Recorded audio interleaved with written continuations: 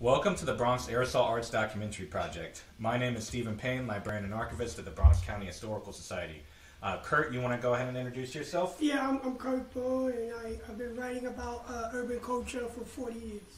Great. So today is March 1st, 2022, and we're really happy to be here with BG 183, a founding member of the Tats Cru, really legendary graffiti artist, a master of style, uh, and his kind of uh, the intricacy of his backgrounds and the details in his pieces uh, are just out of this world. Um, and BG will be talking a lot about growing up in the Bronx and his art, and we're excited to get into it. So, um, BG, why don't you start off by talking about your family's history and background, and um, say a little bit about how your family ended up in the Bronx? Okay, yeah.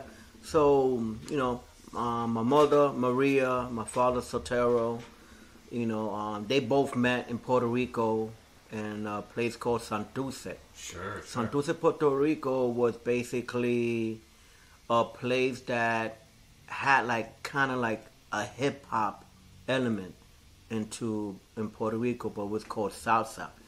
And and that particular area that my mom and father, you know, lived at in Santurce, they had a lot of a land, a lot of land club that was you know like you know the one like one of the best like salsa um, performers, um, musician, um, singers came from in that era in Santurce, and and that was like the beginning of you know of my mom and pop.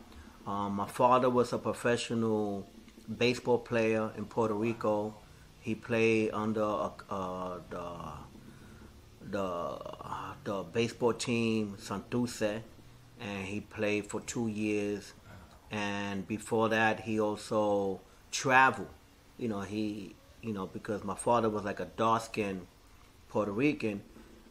Um, so when they took him to like you know places like South Carolina, he played in Georgia. He played in different part of, of the South of America um, he was wondering why they kept, you know, um, putting him in in black hotels. You know, he only allowed to eat in black restaurants. So you know, he, he first time in his life he was facing racism. Yeah. From uh, you know, like being Puerto Rican in Puerto Rico, you know, if you dark skin, you still could walk into like a, you know, like a typical like white, light skin you know, Puerto Rican, but over there when he came down here to America, you know, he, he was treated different. You know, like they all rode in the same bus, but all the all the white, light skinned Puerto Rican, they, they they took him to the the white hotels, and then my father would go into the black hotel, and you know, and that's how how it was for him. You know, so after that, he he went back. You know, went back to Puerto Rico. You know. Um, my mom and him, you know, got together, and then my father decided to to to go to New York City.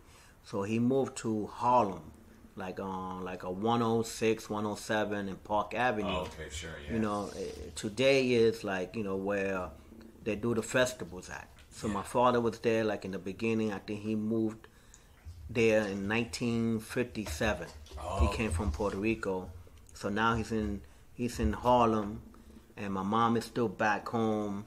So uh, I think after like three, four years later, my father asked her, you know, let's let's come to New York. So they moved to New York, and they moved into the Bronx, and I think it was like Bryan Avenue. Bryant Avenue. Okay. Where they lived there for a while. Then they moved again to like a you know a regular apartment building where I was born, and that was um in Freeman Street, right off of the Sheridan. You know, I was not too. I was like maybe a block away from the six train. Sure, yeah. You know, that was like you know, um, you know, we used to take the six train back then. Uh, my father worked as a, a, factory worker, as a shipping clerk okay. for many years, and my mom was basically you know a housewife. You know, yeah, like yeah. taking care of my me and my other two brothers and my sister. Yeah. And yeah. that was the time that you know, like, it was like early, you know, early '60s. I remember, and I remember uh, a lot of stories. You know, like you know, my my my father used to play softball. Now he's like uh, a softball player playing here. You know, he would play like in Crotona Park, Sure. Central Park, Pelham Bay Park, and and he used to play for. They used to play for money. Yeah. You know, or for beer. You know, whoever wins could buy like a. Uh, like a couple packs of, uh, of beer, you know, for the players, and then my father got into playing like dominoes. So he became Sure. like a professional domino player Damn. back then. You know, he used to bring back trophies. I used to see Wow. trophies, and I remember, I think I probably knocked one of them, and I remember breaking one, and he was very upset. You know, I don't, I don't remember him hitting me or anything like that, but I know he was very upset. And and my father was very strong. He was a very strong man Yeah. my mom for for Christmas she would buy me art supplies. Wow. And that was like the beginning of me, you know, drawing and I, and that helped because, you know, for for Christmas, for my birthday, you know, any type, you know, if I'm outside walking one, she would see something with art related and she would buy me, you know, coloring by colors, you know, like those pages, um, you know, coloring books, you know, anything that was art related, you know, we used to do. I remember mom used to buy like these 500 to 1,000 puzzles. Okay. Yeah, and then yeah, we we used to start like early in the day and finish it at night.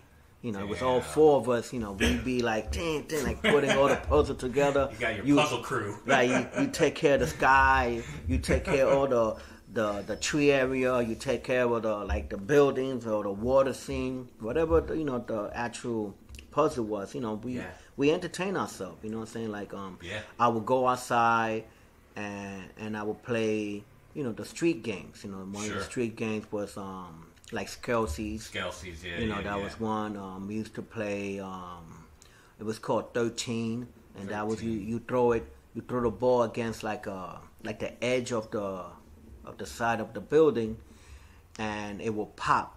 It will go, and you grab it, and then or it might get stuck. They had like a little space of the building that if you throw it just right, the ball gets stuck there, Yeah. and that was considered like fifty point to hundred point Oh, okay. and we used to okay. play like to like like 180. So the more you did, but you always had to pass the number 13. Yeah. You know, like you couldn't go under. If you went under, you, that's when the next person. If I remember okay, the story. I think that's how I go. And then you Yeah. know, we play like um, Roundup around the world. That's like a tag that you play. Uh, Bulldog. You know, we played all different games and and during that time, I remember, you know, we was mostly in like in a black neighborhood. Yeah. But again, I was kind of like dark skinned, so I actually fit fit in into the neighborhood. Yeah. And they used to say, you know, Puerto Rican against blacks. Yeah. You know, so it was like that. You know, we always lost because they were like much bigger than us and everything. we was like kind of like skinny. But you know, we had definitely had great time. You know, I don't remember anything crazy. You know, um, then when we was living in Freeman, Yeah. the the building got you know that's when like the beginning of the burning of the South Bronx. Sure. So these buildings was getting burned or accidentally, not all of everything Yeah. was burned because they wanted to burn it, but you know, buildings too, right, right? You know, these was buildings that was there owned by landlords. Yeah. And you know, they were you know, they everybody was living there, but you know, one one building burned because maybe the Christmas tree. A lot of Yeah, a lot of fire was caused by you know in the winter time with the you know people plugging heaters Heater, with the yeah, Christmas tree, where you know with the washing machine or everything was in one outlet. Yeah. You know, and the fire was like really. In that time, I don't think they had any regulation how to plug in these stuff. Yeah. So all these fire was taking place, and next thing you know, I, I think the landlord couldn't really afford to fix these. So and people was was not gonna move in places like that. I remember we always was always like the last family to move, and they were like Ah, okay, yeah. thirty family members that lived in one building. Yeah.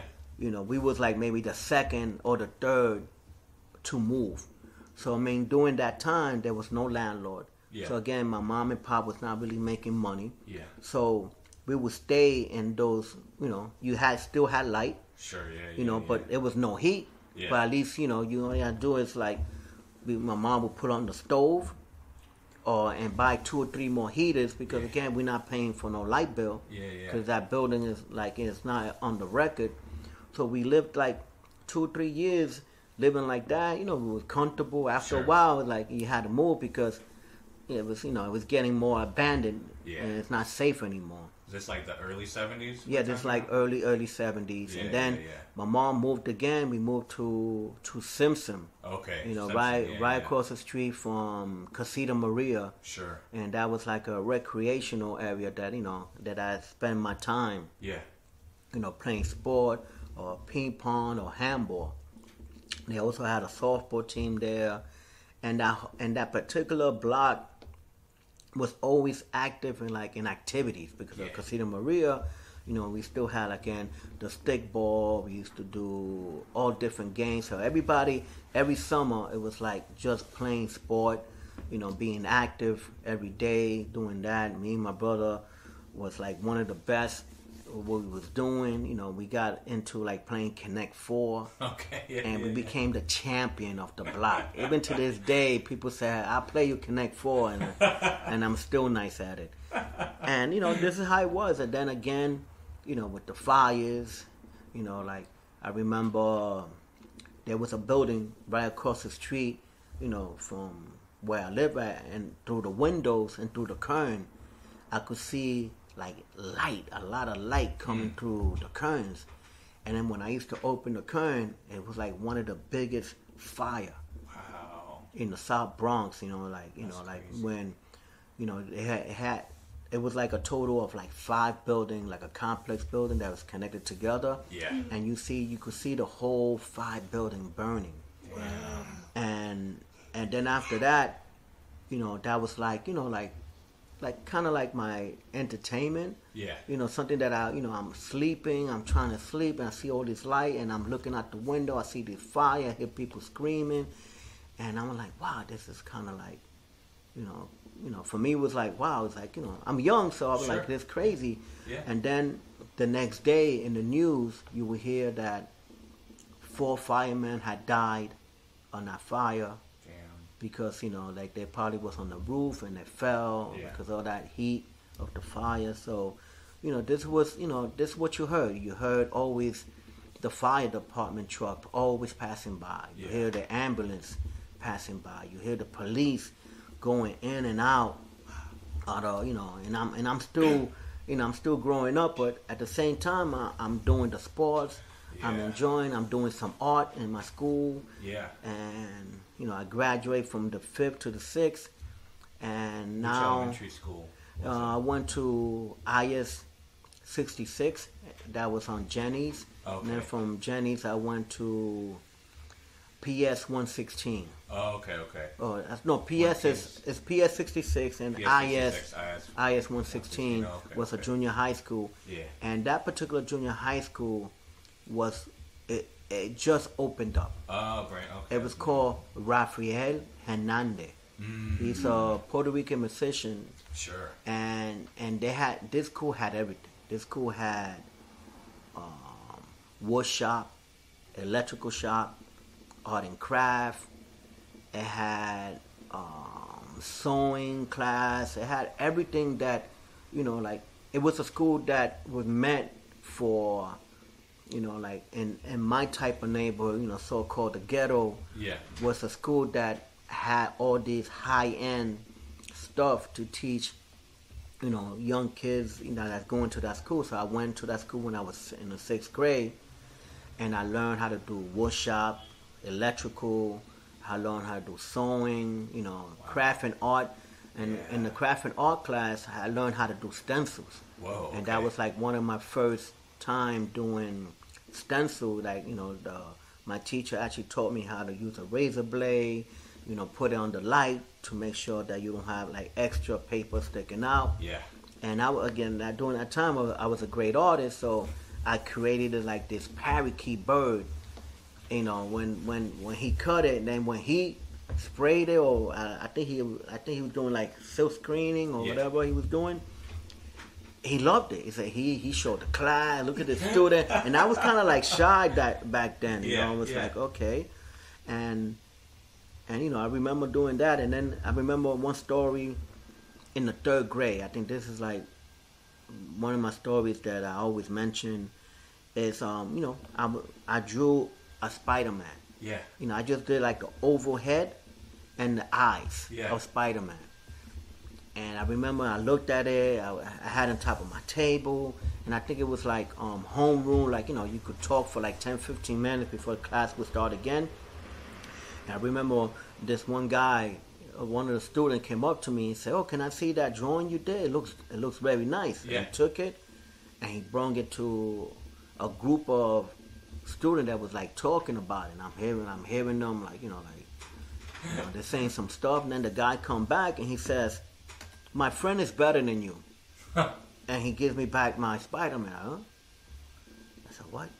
So that made me go back home to practice. that was like the beginning of you know me getting into it. So I went and I drew the same Spider Man head, but this time I did like the web, Okay. like the web that yeah. comes for the Spider Man head. I said, oh, I'm gonna show these guys, you know. So Yeah. now I got, you know, I'm waiting for them. So he comes over. Can I take it? I said, yeah, take it. Then he comes back. He said, ah, the other guy drew Incredible Hulk. He's better than you. I'm like, oh my god. So, so you know, so again, because the life of the Bronx is like that. It's always a competition. Sure, You know, yeah, like yeah, I'm yeah. better than you. Um, look at your sneakers. Your sneakers, you know, they got holes in it. You Yeah. know, or your sneakers look dirty. I got the brand new sneakers. So you know, the fashion part of the Bronx, you know, and I was next to Jewel Man. You know, they had a mm. store called Jewel Man. It was called Hosiery, and that was like around the corner. And they the one who actually started the fashion of hip hop, because all the clothes was made by Jewel Man. Like you know, you Yeah. would buy you know before Dr. J, before Yeah. the Jimmy Jazz, before all these stores. They say this is a hip hop store. You mm-hmm. know, Jewel Man was like the one of the first. So we had one on on 163rd, and, 163rd. and it's still there. Sure. The, the the son still there. His name is Chucky. You know, we know him from many. Like I know him since the 70s. And then you had like two more stores that was like on around the corner on Southern Boulevard, on Simpson train station. Yeah. And then you had on on another one on Freeman Street. Wow. But you know, so we had like, you know, like really like no more than like a thousand feet, fifteen hundred feet away from all these stores. And you bought like the when you bought your first Nike sneakers was You go there, huh? you go there. Yeah. And I remember going into going into these stores and you know you be like, oh, let me get a those pair. These are the new Nikes. I said Nike, and they were like they they were called Cortez. They was like like riveted bottom, Sure, like with a like like almost like a tennis sneaker, like blue, like a blue family. And I said, oh, they look nice. Can I buy one? Yeah. And they'd be like, okay. So they will show you this brand new Nike. You're like, oh, Yeah. that's beautiful. And then they will put it in the box, and, and I say to him, oh, can I see the other one? They say, ah, why? Why you want to see the other one? Why? And I say, yo, I want to I wanna see how they look. and he'll, he'll be like, they'll be like, no. And then when they put it out, it's an old pair of Nike. The so the left or the right will be old and be like, I don't want it. And then next thing you know, they're saying, Get out! Get out! You don't want to buy it? Oh, and it was only fifteen dollars Yeah, yeah, for yeah. a pair of Nikes. You know, this is the beginning of sneakers, you know? Sure, yeah. And then in the same way, when you bought Adidas, you know, Adidas came out before uh, Nikes, and you had the Pumas. Yeah. You know, and then you, the Pumas, and you had the Converse, Pro-Keds. the Pro-Keds. You had the 69ers. Yeah, the 69er yeah, was those like 69ers these sure. were like a line, and then before that was the Converse, and then before the Converse was the Skippies. Yeah, yeah. The Skippy was like one of the first, you know, like I made sure that that I had a hole in my Skippy because I didn't want to wear Skippy. Yeah, and they snap on you. Yeah, yeah, it would snap on you. And your toes be on the bottom like this, looking, or they will flap up. You know, so and it was because the heat of the summer used to like burn the rubber off. You know, so it was really hard time. So, you know, again, so we had the Jew man. You know, showing like giving out the hip hop clothes. You know, they they they had the sheepskins, they had Sure. the leather the leather jacket, the bombers. You know, I used to rock all that. You know, that Chinese mock neck, the Yeah. overlap jeans. They had um, they had like um, French cut pants. You know, yeah. everything that was the fashion. You know, you went through them. And this was this was Like this was like junior high? 70, it was High 73, 72, Yeah, yeah, yeah. 74. Yeah, sure, sure. Very. you know, this is like very early, you know, like again, you know, because I was always outside, so Yeah. you know, I had to, you know, and it's funny, I was not trying to express, you know, like to show up in front of the girl. It was Sure. mostly to show up in front of my friends. Yeah, yeah, yeah. You know what I'm saying? yeah. Like, you know, they the one, you know, like I would go to that group and automatically, you know, they would they would try to like snap, you know, make jokes Sure, on yeah, you. yeah, yeah. So in the beginning I felt kinda like, Oh, why they doing that? And then after a while I became the guy. Yeah. That, you know, like you come up to me if I see something I didn't like, you know, I would like, you know, snapping. yeah, I'd be like, look at your glasses or look at your jeans, look at your pants, you Yeah. know. You know, next thing you know, they want to fight me, you know, and you know, we start fighting. But that's how it was, you know, like growing up, you know, it's like, you know, the fashion, you know, you know, like, same thing playing sports. You know, I'm better Yeah. than you. I, I- I hit more home runs than you. Yeah, yeah. I got a better swing. I could catch better. You know, and when we play two hand touch, you know, I could do more moves than you. I could Yeah. catch. I could run faster. So Yeah. everything was always a competition. Yeah. You know, So like let me ask you, uh, a lot of artists talked about the gang activity too. So you, you, you run into gang members, they got colors on. You know, how, how did you navigate that scene? You see their graffiti up on different walls, things like that. And Did um, you encounter for that? for me, like during like the time with the gang members, you know, they lived on my block, Sure, yeah, Oh, yeah, yeah. so you know it was not like I was scared of them or anything. Sure. So I was already part of that group, but not running with them. But I Yeah. was neutral with them. Sure. Which, So which, uh, you know, which we had we it? had the Savage Skulls, Savage Skulls. you yeah, had yeah, the yeah. Chingalings, Oh, Chingalings, you had yeah. Savage Nomad, Yeah. and you had the Boogie Brothers, you know, um, and then you had uh, other crew that was in gang members. There Sure. was like regular crews, you know. You had the like Kelly Crew, like in my neighborhood, you had Kelly Crew, Wilkins Crew. Yeah. You had um, the Gestapo crew. Oh, you had sure, the Zulu Nation. You had you know all these crews that was up. We got Boogie. You had the the Bamboo Brothers, and that was like um, with Theodore and them. You know what I'm saying? They used to Yeah. jam a place called 75 Park in the early Mm. 70s. You know, that's a you know I you know I I saw him perform, but I didn't know he was Grand Wizard Theodore. Yeah, yeah, You yeah, know, yeah. and and a true story is um, you know, again I had a friend of mine that that when I went to his house and he's he's talking to his mom and he's saying to his mom, Mom, where's my gun at? And I'm like, "You- I can't even tell my mom where's my or, or where my slingshot or my or my pea shooter. You know what I'm saying? Like you know, she whacked me. And this guy's saying, "Mom, where's my gun at?" I thought he was joking, and I hear his mom saying, "Yeah, it's right here in the kitchen drawer." I said, "Wait a minute." Okay, you sure? Which one is it? Yeah, it's a small. It's a small twenty-two. Then, and I like, oh shit! I like, what the? And my mom like, you know, What's going on? what's going on here? So next thing you know, he asked for another gun. His mom said, "Yeah, I have it right here." I like, oh. And then, and he says, "Yo, mom, can you bring it over?" Now I said, maybe this guy's lying. So his mom really brings it over, oh gives it to him, and he's like, "Okay, mom, thank you," and he gives it back to her. And I said, "Wow." And then this guy, like, was one of the guys that you know, like, when people heard his name, they Yeah. ran. Yeah, yeah. You know what I'm saying? So, you know, he was my friend. Sure, yeah, yeah, yeah. And so I remember we walked over to what uh, where Grand Wizard Theodore was performing, and he's walking around with a shotgun. And Oh. and then you know we got to the to the area where they were DJing at. You know when you DJ, there's always like people surrounding Sure. to you know. And he tells me, "Yo, can you do you know? I want you to do is grab the shotgun, put it on the side, and walk around." And I was saying to myself, like, you know, like, why, you know? But next thing you know, I grabbed the shotgun and I walked around. yeah. Get it. I did it. then I went like this. And I try to I try to get it back to him. He's like, no, no, no. I'll walk around a second time. I said, okay. I walked around a second time. And then after that, you know, I see, you know, Grand Wizard Theodore, he's performing, he's Doing his yeah, DJing, yeah. you know, he got his crew. Because, you know, back then, if you didn't do stuff like that, you got robbed Absolutely. for your, equipment. equipment. Would be gone. For Yeah. your equipment. A lot of DJs got robbed for their equipment because, one, there was no money in the street. Sure. Yeah. Yeah. So, yeah. and the way you probably got, you rob somebody for their DJ equipment, or you will break into the store, Sure. Yeah. like yeah, any yeah. electrical store that sold mixes and, and turntables. You will go in there. anyway.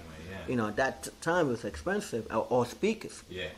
So you know, so at that time, you know, you know that was like that. So you know, I started DJing because he had DJ equipment in his Sure, house. sure. So you know, boom, I'm DJing. You know, uh, I met a lot of a lot of people during that time. There was um a DJ with Kid.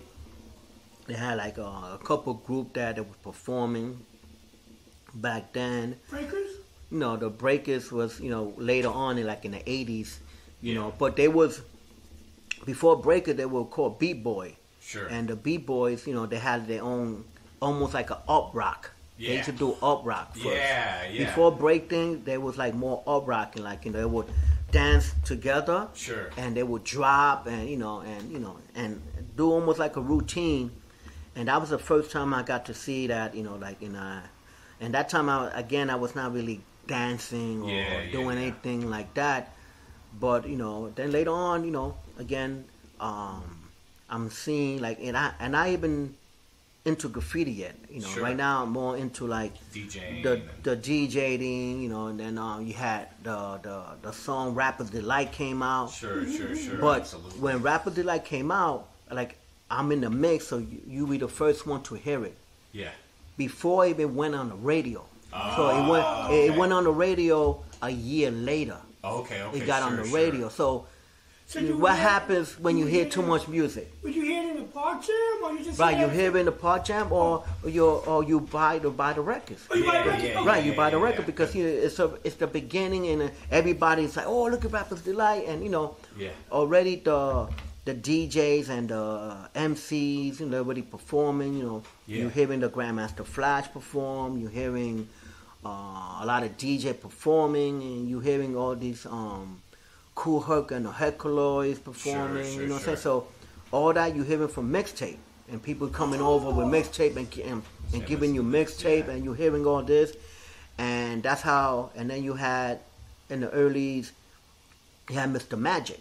Mr. Magic. You know, and then before that, it was somebody else, but that was like underground college ones. And then they had Mr. Magic that came on uh, about like 11 o'clock and uh, p.m. Or, and then he moved over to 12, then he moved over to 1 p.m. Yeah. But we used to follow. My brother was one of the guys that went on a mission to record all these hip hop. So, so my brother was into the music, so I got into the music pretty with my brother. yeah. So, again, you know, you had the DJs, you had the jams going on. Yeah, like yeah, again, yeah. I'm in the South Bronx, so you, you- all those performance, you know, So, you yeah. see, Yeah. you see for free. You know what I'm saying? Like Oh, you yeah, saw for for sure. free, and then you had, you know, the records. You had people dropping records, and I remember, like I was saying earlier about Rappers Delight. It, it, it came out, and a year later, it, it became in the radio, and then two years later, it was one of the hottest songs. and I'm tired of listening to Rappers Delight anymore. Yeah, but you then you hear people yeah. Sing, yo, you heard this song, Rappers Delight? I say, oh, that's old. That's not old. I just heard in the radio. This is this is brand new. We're like, no, that's old. that's Yeah, old. yeah. That's old because you know when you're in the mix of the of the you know of the culture of hip hop, Sure. you know you hear it way before it became mainstream, and Absolutely. and you knew, you know. So I was one of those guys that was you know fortunate that that I saw all that stuff, Yeah. and then my older brother, you know, he got into into gangs. Sure. So yeah. now he's part of the the Sour Skulls. Oh, he's part of the Savage Skulls. So okay, now- Yeah, yeah. There was um in the I think early late seventies, like seventy eight, or I don't know how, how early they started. um, you had a guy named Comanche Oh, Comanche. I've heard of Comanche. and, yeah. and, and Blackie. And they were Blackie they too, were all they was like the the presidents and uh, the one who ran the South Coast. They started um a Puerto Rican um, what's the name Puerto Rican coalition security.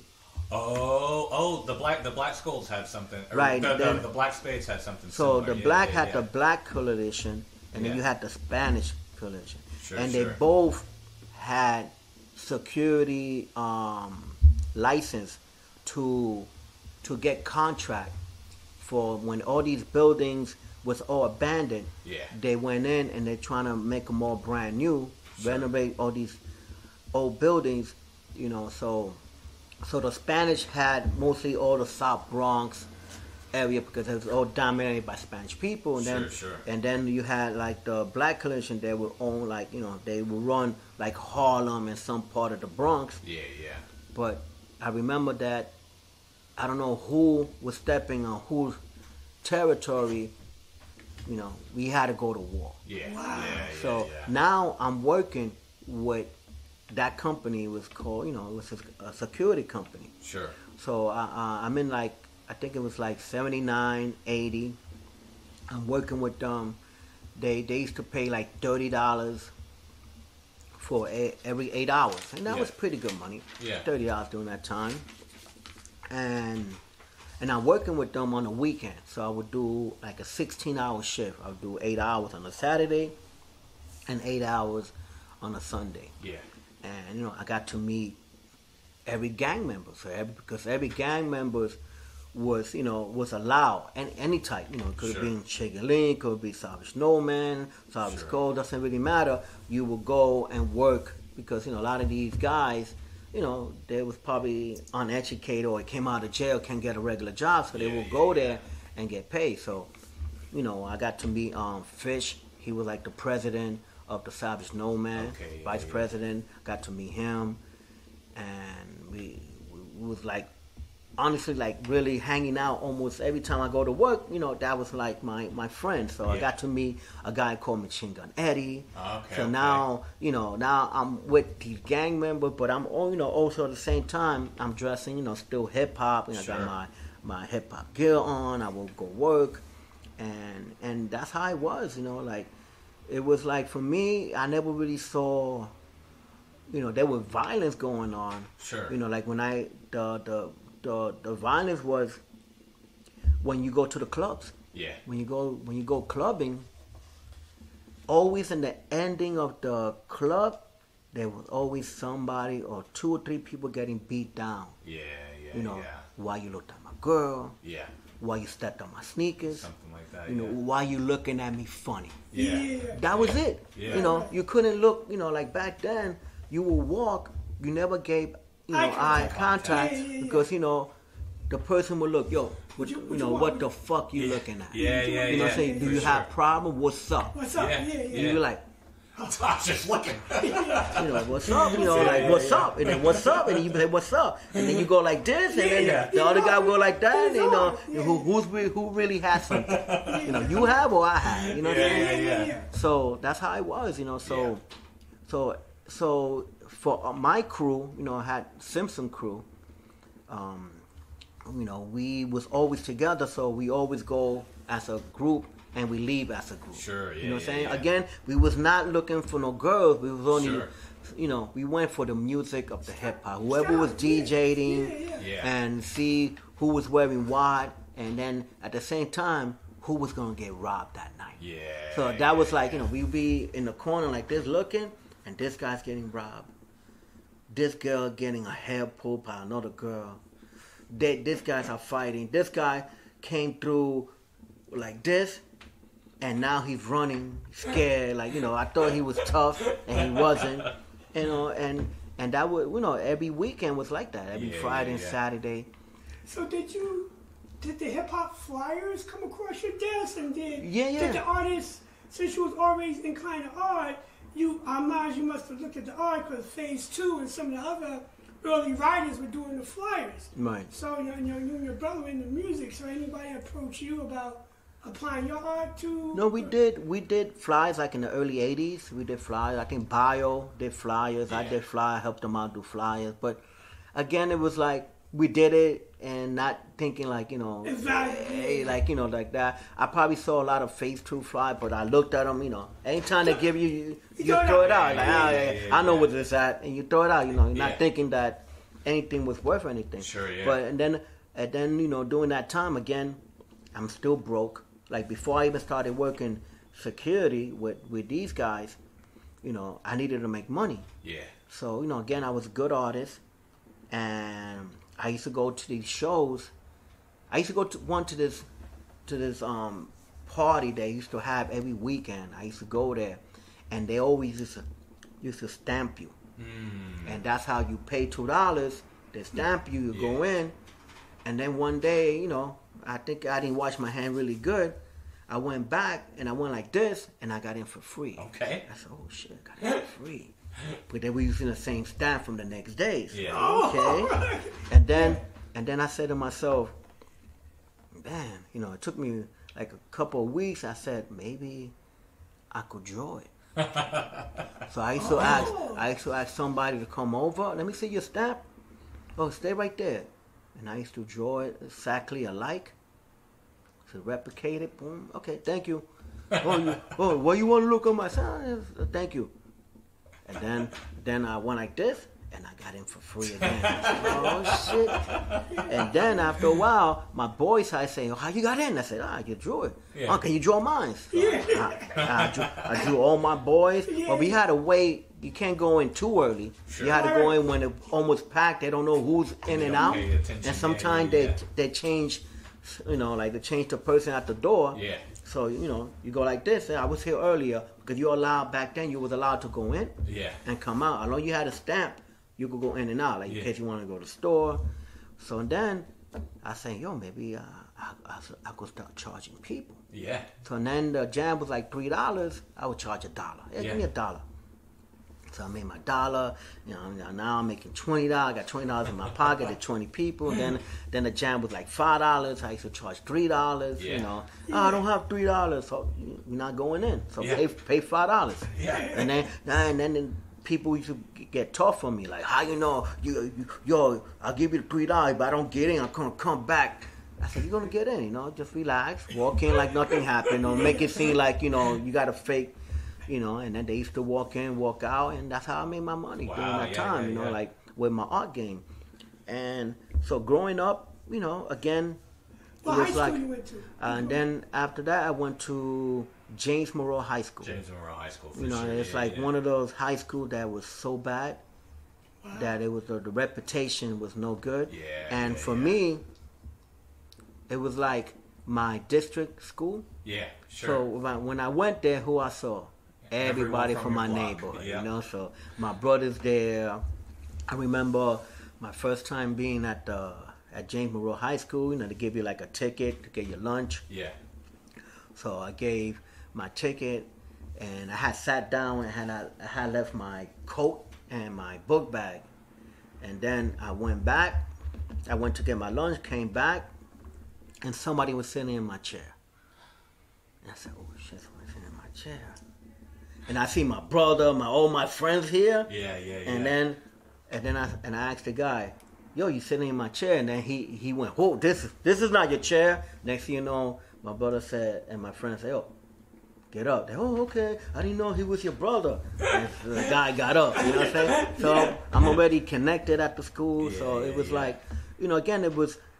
I think you know I was blessed to be connected with a lot of you know people that that was someone. You know what Yeah. I'm saying? Like had you know something going on during that time, and I think you know I grew up safe. You know I never had to worry about you know like I used to wear big gold chains. Yeah. You know I still have gold chain, but you know I used to have bigger gold chain. I used to walk around the 70s and the 80s, and you know I remember when when people was getting shot for the eight ball jackets, okay. Yeah. Yeah. Yeah. and and And that was sheepskins. and sheepskin or leather bombers yeah. Yeah, you know, and and I used to rock all that kind of stuff, okay? Because Whoa. Jew Man was right there, so Yeah. you know, um, And you wasn't scared. no, I used to walk around, you know, like people would say, "Yo, you crazy," Yeah. Why, yo? Yeah, I and then the eight ball, you know, people was, you know, it was in a, I think a almost like a six months to a year that, that on the front page was somebody dying from an eight ball jacket that he didn't want to give up this eight ball jacket. Yeah. And he got killed because the eight ball jacket was made out of like a shearling sheepskin material, but mm. it was multicolors. And these jackets, they were like from nine hundred to like eighteen hundred dollars jacket. They were custom made, some of them. Yeah. And people, you know, hey, if I take that from him, I could sell it easy for five hundred, six hundred dollars. That Yeah. was money Yeah. back then. So, you know, I was lucky that, you know, one, I didn't travel too much away from my neighborhood. Sure, sure, sure. You know, say if I did, you know, they probably thought, you know, you know, I always had like that walking around with a grill face, and I think that helped out too. And my father always showed me like when you walk, you know, always walk like you you got something in your pocket. Yeah, yeah, yeah. you know, that sure. helped out. And then after that is is you yourself like you know to say to yourself like okay, um, I could do it. Yeah. You know, the same thing when I first started. When I started, oh yeah, let me go back to James Monroe High School. So with the ticket, I remember doing the ticket time, and again, I had a, you know, I was hungry. In that time, you know, it was good food. It was hamburgers, meatloaf, hot yeah, yeah, dogs. yeah, yeah. You know, you don't get that in school anymore. But Yeah. back then, it was pretty good. So, so they used to, you know, when the day today was um, number thirteen. So you go use number thirteen, and the next day fourteen, the ticket. Yeah. So they people that came in, they have a thirteen, they would throw it on the floor. You know. Mm. So what I did is I'll pick up all the thirteens or all the number threes, Yeah. like if it's twenty three or 20, uh, 43, anything with threes on it. Yeah. I used to grab it and make them into eight. Ah, So I took sure, all sure. the threes. I just went like that with a black ink, and I did it really perfect that you can't even tell Wow. it was an eight. So now I figure out like every You number ready. eight, I'm eating for free. Yeah. Or I would sell. You sell I- tickets, you yeah. sell the yeah. tickets Sell tickets, yeah. because I think they were like, I think uh like seventy five cents to a dollar to Yeah. buy. You know, if you didn't have a ticket, you pay a dollar something like that Something for like lunch. that, yeah. So I, I sold it for fifty cents. So I made fifty cents in high school. Like, yeah, Yeah. 50 cents, 50 cents. You know, and then and then people started doing it, taking a number two, trying to make it into an eight, and then I think they they realized that, and then they they started checking all the tickets. You gotta say, Okay. After like a year, two years, after I had a good run, everybody started like jump, jumped in the bandwagon Wow. and that. So you know, again, it was like growing up and using my art ability to just you know to get by and and to hustle. You know, what I'm saying this is simple hustle, but Yeah, it's still something that you know, like you know, that I was doing for me to continue doing what I was doing and. And it's it's interesting because even even before you got into graffiti, you know, you were kind of drawn to like, I guess you could call like typeface or things like that, manipulating, Right. You know, like whether with the letters or the even the stamp, kind of, you know, is a kind of kind of that helped me out. Yeah, yeah. And yeah. um, so then after that, so What, what year you graduate high school? um, I don't know, like 80, 83, 84. Eight, okay, 83, 84. Okay. Where- and- I was, I was like a super senior when I graduated. super senior. Okay. and Now, now you, you, you actually, you know, uh, I've seen interviews with you. You actually met some some members of the Tats Cru in high, right? Right. school. Right. So yeah. So when I went to James Monroe High School, um, I had um, you know, I was already in already. So in the as a junior year, I had they gave me um, um, weight training Oh, gym. So I had a, Yeah. I had a, I had a gym there. So Yeah. I'm in the gym, you know, pumping it up. I'm getting kind of big, and and I had to bring my own locker. Yeah. The locker, you know, because they allow you, you have to wear your gym clothes, and that was like the shorts and some and a t-shirt saying James Monroe High School. Right. Yeah. yeah. The shorts was probably too short. I don't know. I didn't Yeah. like. I never liked the shorts, but you had to wear it. But um, I remember one time, like that, that, that first when I came back, you know, for the for the second semester of school, I didn't have a lock.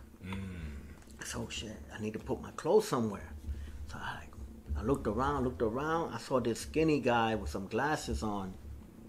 I said, "Yo, can I put my clothes?" And you know I'm like this. You know, Yeah. can I put my clothes? And the guy looked at me like, all right, like, And I said, he said, all right. Like first, in his mind, he probably was saying, what the fuck? I ain't gonna give you. And then I said, no, no, I just want to put my clothes. In his mind, he probably thought I was trying to rob him. Yeah, yeah, I yeah. said, no, I was really, really being fair. Like, yo, really, I want to put my clothes there. Yeah. And I, then, you know, when you, we meet again, and when uh, some, when the period's over, I'll get my clothes back. So he said, all right. Then I saw him. I waited for him, and then I got my clothes. And I said, don't worry. Tomorrow I'll bring my lock, and I don't have to use you. And I forgot again. I think I went to, you know, I went when I went home. I started hanging out, whatever the case. I went back and I saw the guy again, and he looked at me like, "Damn, man, this guy's still, you know, like." I know in his mind he said, "I don't want to talk to this guy. This guy Yeah. is trying to get me," you know. So I put my clothes back in, boom, and then the third or fourth day again, I forgot my lock again, and I was like, "Damn, I keep forgetting my lock." And, I, and then I, I remember buying it and I left it there to grab it, but I left the house too early. And then the third or fourth day, I didn't see the guy no more. Yeah. Then so I just gotta put it somewhere, you know, and put it anywhere. So now uh, I'm in a major art class. Like you know, it's like they, they gave me because I was a good artist Yeah. And I was drawing, you know, you know that time was like the early of graffiti for me, and I look, and I look, and I and I'm like, you know, it's like it's like 25 minutes to like a period, I think it was, right? Yeah, about 30 minutes, yeah, 30 30 minutes. minutes, yeah, yeah, yeah. So I'm sitting here, and there's a guy sitting in front of me, but all day he's like this. Look at this. Thing. Oh, yeah. There you go. So all day he's like this.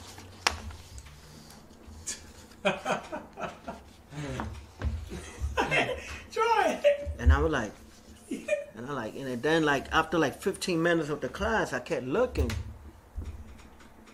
and it's the guy that I take the, that I share my lock. I say, yo, what's up? What's up, man? Yo, man, how you doing? And he's looking at me. Oh yeah, Yeah, yeah, yeah. yeah. I'm doing art also. And then I look, and he, he's doing letters. Okay. Yeah. I said, yeah, oh, you yeah. doing letters? And you know, it turned out to be Bio.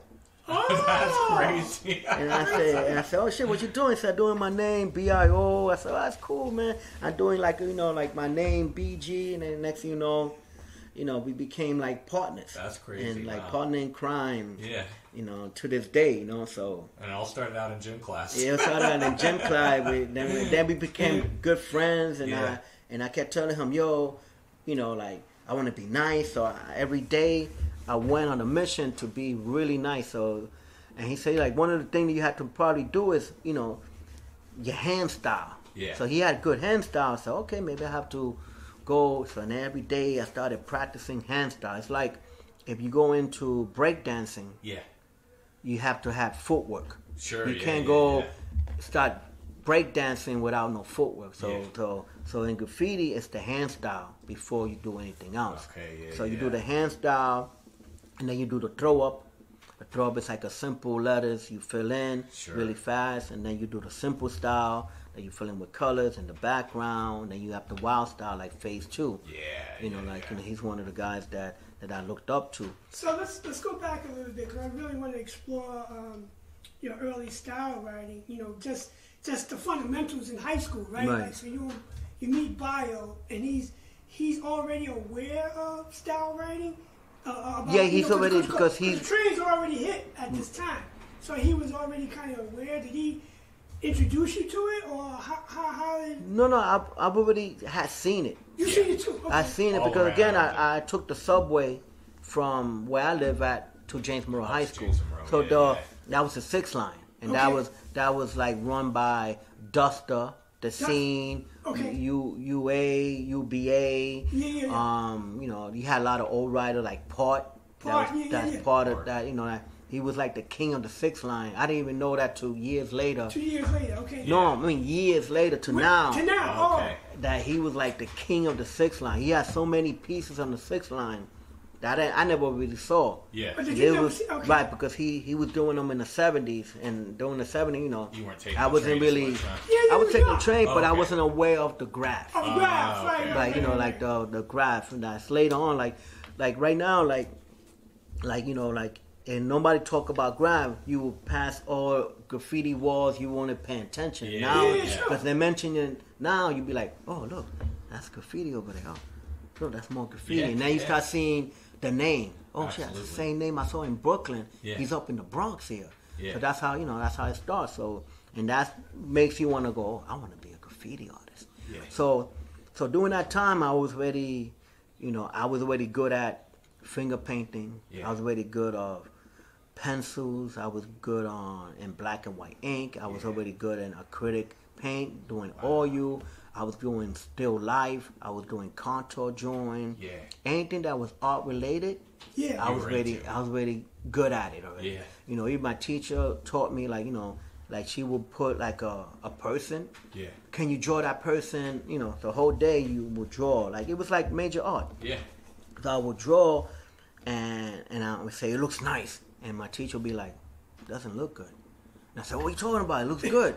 he said, look, the person is tall, and you made the person on your drawing look like a midget. Like you know, like the proportion Sure, sure, the wasn't proportions good. But were for out. me, Yeah, it was yeah, yeah. perfect. And She showed me, Yeah. like you know, she said, "This is circle, circle, circle. This is how you do it. The elbow lands here, and that's it." Yeah. And then that's what I started doing. I said, oh, okay. And then now, now I'm on proportion. And then she will be like, her name was Miss Jorkins. She will be like, okay, today we're going to draw this flower. So we draw the flowers. Then tomorrow be like, okay, we're going to draw the flower in, in 15 minutes. Yeah. Or today, 10 minutes. Yeah. Uh, today we're gonna draw it in five minutes. And you're like, oh, we're gonna draw it. And, you know, people complain, we can't do those. It said, you know, just draw it. Yeah. So and then, so she showed, like, she was showing me, like, sometime you don't have to put a lot of details to make it look like a like a flower. You can just do a couple of images, and it looks like flowers. So, Yeah. so at the same time, she was showing me like different way of art, you know, but not really physically grabbing my hand. Sure. Just saying, look, this is what you have to do. So, so all my skills was getting better. Then, then when the same thing when it came doing graffiti, Yeah. there's no teachers for this. Sure, So you really yeah. had to learn by myself. But and that's how I improved my skills. You know what I'm saying? Like you know, Bio was doing his, and then at the same time we had uh, a couple more graffiti artists that was also In the class. In the class, you So- had so- you had like Bomb Five. Oh, You had Bon Bomb yeah. Five. You had another guy uh, called Poem.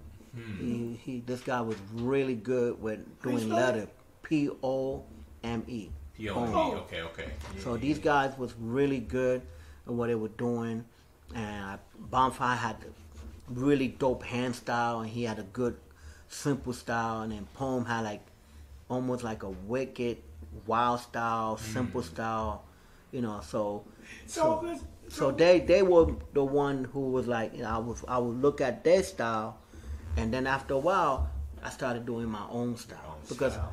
that's how you start. Like you know you like you will pick like if somebody's dancing they had a particular um, foot movement. You will follow that, but then you add your own. Add your own, yeah. Like you add a twist yeah, to yeah. it. You, Yeah, know, so yeah. so that's what I started doing, and then to get into the graffiti world. Yeah. Cause, cause Bi- Bio wasn't his real name. So obviously, in high school, was he was he styling Bio or was he? Yeah, he was doing actually. His name is Wilfredo, so he was doing Will, Will. W I L. And then what did you start doing? Uh, wasn't your- I was doing like other name. I, I had like a name called Gap, G A P P. I didn't like it. I didn't like it. Yeah, So Yeah, then I, yeah, yeah. I had another name. I didn't like. it. I don't remember the name I was using. So every name I didn't like. Tried them out. Yeah, then the only name that I like is because um after a while, uh, you know, again I was playing softball. yeah, you were still active. So I was real, I was real nice. So if they if they'll be man second and third, and we losing, they'd be like, "Yo, bring the battles in." So that's what I used to do. Like I was so nice that I um, I could hit it over first, I could hit it over third. Yeah. You know, I could I'm a It's good. switch hitter. So Yeah, yeah. so I used to bring the batters in. Yeah. Right. And so cool. bring, bring. So Bring. then so I said, oh, bring. That sounds like a good, that's a good name. So I started doing B R I N G, but it was too long. Yeah. Yeah. Yeah. So I cut it down to B G. I took the first letter and the last letter and put it together. Yeah. And then the number, the number came about you know, so I had a guy from James Monroe High School called Griff, and every day we used to battle. Yeah. You know, the battle was we take any name and we do it once and we do it again two times and we do it again a third time. Yeah. So we said, okay, cool. So I did first time, then the second time I changed the style. The third one I changed the style. Yeah. And then he says, do a fourth one. All right. And I got stuck. I couldn't do a fourth style, and he did a fourth. I said, oh. so I kind of like lost that battle. I said, Yeah. oh man, I lost. So I went back and I practiced some more. I did maybe up to six. So we did we, we did the same thing, a different name. We did the same thing, and he went up and did like two more than me. I'm Yeah. Damn, man, this guy's really good. so then I went, and I think it was summertime. That Yeah. whole summer, uh, I was walking home, and I went by this, um, I think it's a, this paper company. They they did cardboard, and they had like these two by three rows, like blank, like they was throwing on the garbage. So I asked the guy, "Look, can I take this?" He said, hey, "That's garbage. You could take it." Yeah. So I grabbed, I don't know how much it was, like 50 to 60 of them. I grabbed it and I started walking, and then one guy started screaming, Yo, what you doing? That's not garbage. Next thing you know, I'm running with a whole bunch of paper, and I got home, you know. He, he probably gave up on me, and, and that was where I used to like the whole summer. Instead of being, that, yeah. and I was practicing every day. What I did is I, I, I would, I would do a line straight in the middle, and I do like cross, and I do another line. I do like three lines, and I made like these small rectangle boxes. So, so I could do maybe like almost like 30 to 36 of them, and then I would do the style. Yeah. I do one style here, then I take that. I say, okay, I like the way my B is looking on this one. I'm, I'm gonna use that B. I don't like the G. I change the G. Then I, I come back again, and I say, okay, I like maybe change the B a little bit, but I like the first G, and I keep going like that. Oh, experimenting. till you So kinda to get to right. uh, to I learn, and then you know again, again, you, there's nobody really behind me. Explain So yeah. I just took ideas. At that time, there was no books yet, like Yeah. Subway Yeah, art. yeah, yeah. You know, there's nothing to follow. Remember, there's no internet that you could Google everything now. Did you hear the uh, uh, 149th Street right? the bench, yeah, yeah, I, I did that. I did You that. did that? I- I- Okay. yeah, I could tell you that in a few. So, Okay, cool. So I used to, you know, again, I drew Yeah. my name. So let me, let me get that Yeah, pen. okay. Yeah, yeah, sure. Okay, yeah. Oh, let me get Because this that's the contract. Okay, Yeah. So you know, so again, I if I did like a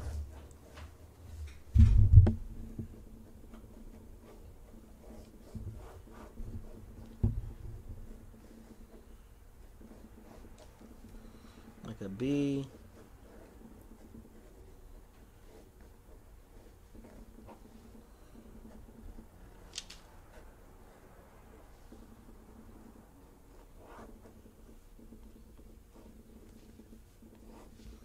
So that is a BG 183. That's pretty quick. And then you know, you I take it. explaining, you got Right, so I took- but you was, and then I take- how to get to the 183. you know so i do i do like this and then um what i did is um i go like this and i flip it over and you still could see a bg 183 put it against the light Oh, Oh, yeah, yeah, yeah, yeah, yeah, yeah, yeah. let's see. I can see it. Wait, uh, oh, yeah, yeah, yeah. I'll also scan it too, so it'll. you see how you still say Yeah. still read bg 183 Yeah, yeah, yeah, so this yeah. is a way that i started teaching myself because now the style is always different when you, whatever you turn it it's a letter It's a letter. That's Oh, Right, so so you go like this, Yeah. you get like a U, and over here you get like a W, and then here you get like you know all different style when Yeah. you when you reverse the letters. Yeah. Here, here I could say okay, this one looks like a like a nice E, Yeah, yeah, yeah, yeah, yeah. yeah. High school, right? and this your was in high school. Yeah, This is yeah. like uh, me at home At home. Okay. doing this. So then the 183 again started with the guy Griff. So in the end, I I got to beat him. He said, "You look like you got like 183 styles." So so I kept the number just to me- just to mess with him. Just reminds me here. The 183 styles. So that's how the 183 started with the BG 183. That's amazing story. That's wild. So and this is how I- I started. Like this is where if I teach somebody how to do grab, I say, this is what you have to do."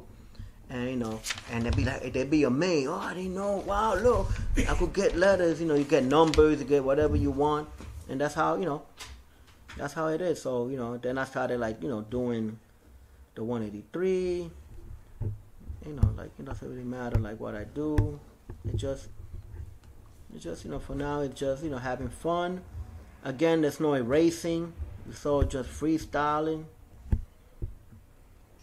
Okay, so you're in high school, and at that time, high schoolers were were out there hitting trains and you know doing doing pieces in black books. So did you develop relationships at like 149th Street and Well, tag, so- tag other people's black books, or did you keep your black Okay, books? Or how? so so before the 149th Street, you know, like first you have to be accepted in the oh. graffiti world. Mm. It's not like I'm a graffiti artist and people gonna come up to me and say, "Oh, you write graffiti?" Oh, you know, even when I first started, it's like you're a toy. Yeah, yeah. oh, so- okay, yeah, wow. No, no, I was a toy. You know, everybody, everybody starts as a toy. It's like you as being a writer doing poetry. Yeah. People not gonna read your stuff. Oh, look, I just wrote it. They're like, oh, okay. Yeah, yeah, yeah, yeah, yeah. But now, now you know, now people see your work, they want to read it. You They wanna want to read it. each one. So Yeah, yeah, yeah. that's how it started. So with me, now you know, I had like the group of guys in James Monroe High School. They they they are they probably in the game for like two, three, four years in the Yeah. game. And so I'll try to fit in. So I will go, you know, with them, like you know, like smiling. Yeah, yeah. They they making a joke, and I'm like, ah, like I'm laughing too. And then they all say, okay, we're gonna go up bombing, street bombing. yeah, And then I, I will follow them. They'll be like, where you going? yeah, I say, "Ah, I'm gonna write. You know, no, no, no, we don't know. We don't- We don't know you. yeah, yeah. Oh, Get away. So oh, shit. So I will hang. I still will hang out with them. I like, you know, that guy. You know, who's this guy? Yeah, right. yeah. yeah. Anybody know this guy here? I was like, I was that guy. Yeah, Yeah. that guy. Yeah. You know, so Yeah, yeah. and they, they didn't want to like accept me as a writer. I said, oh wow, so I have to. So and then like you know again I go into the phases like you know I found the whole bunch of papers. Um, my skills level was going up, but yet I'm not getting accepted in the graffiti world. They're not really, you know. So I went up by myself. Yeah. Like you know, hearing hearing the story. Like you know, first is how you paint a train. yeah, Where you go? yeah, I don't know that. yeah, Where where can I go? yeah, So, you know, but hearing them talk, they were like, oh, you could go up to a layup. Sure. A layup is like an elevated train that they park them in the center between two train stations in the summer. yeah, The reason why they're parking them in the summer because it's warm. You know, it's easy to start the train to put them back in the express line. So I heard that, and then I I took the train and I saw it parked after after rush hour after like 7 p.m. They will start laying them up, yeah. Which station did you and then first? like you know you had Like from from Elder to Soundview, from Soundview to San Lawrence, from San Lawrence to Castle Hill, Sure. And then and then um I think it was San Lawrence to Parkchester, and from Parkchester to Castle Hill, and then you had you know like the Middletown Road, like you know more like I didn't go too far You didn't out go, because that was like the white graffiti artists. Yeah, You yeah, know, they they catch you over there, they will beat you down. Yeah. So We you heard know, stories Spanish about that. people, you know, so For I sure. so anywhere that you know I, I know I'm gonna get hurt, there's no reason for me to go. For sure, yeah, You know, yeah, saying yeah. like you know, play, you know, let's be smart about this. and so I I went to that, and I remember I, I got my first. Uh, I I went to a store and I racked like like a total of six cans. Yeah. So, but I only brought two to go to the layup because, and then I've been practicing my throw up. Okay, all I've been doing my throw up. I've been practicing. You know, I used to go to my backyard where I used to live at in the basement, practice and practice. Now I, I'm think I'm good enough to do this job. So Yeah. I got to the train. I'm there by myself. It was like I'm looking around, nobody in the, in the station. So I jump down and I do my throw up. Yeah. Yeah, did it. You know, my heart is pumping. yeah, yeah, yeah, yeah. What'd you write? All right, you know, I did my throw up, BG. BG, not 183. No, not 183. Yeah, yeah. BG. BG. Yeah. Boom, I come up. I did it. I did it. so then I, I went back and I went back to the group Yeah. and I and I say, oh, I just did trains. You did trains? I said, yeah. I said, yeah, I did trains. And they were like, okay, cool. And uh, I did one car. Boom. They said, you did what? I said, I did one car. They said, you did all ten cars. Because there's ten, there's ten cars. Yeah, sure. You know, you didn't do one car. You did ten cars. You trying to say you did ten cars? And like, Yeah. Yeah. I did 10 cars and I'm like, okay. Alright. Then I went, okay, damn, I gotta do 10 cars. so I went back by myself again. I jumped in the track and I did all like one Wow. one name in each car. Wow. Okay. And I, I went back, you know, I think I spoke to the same guy again. I said, yo, I just did train again yesterday. They were lay up. And I did I did the whole set of 10 cars. He said, you did, you did, you, you, you did 10 cars? I said, yeah. You did both sides? Or, or you did one side? I said, oh, Making it God. hard. Gotta go back. You know, I, yeah, I gotta go back. Because, you know, in bombing, you gotta bomb. Yeah. You know, you know, so you can't go and do one and you done. Because Yeah. who gonna see? There's like I don't know how many cars in a subway system, but you're not gonna see your name. Well, nobody gonna really gonna see your name. So, Sure. so and now I did one. I got eleven cars.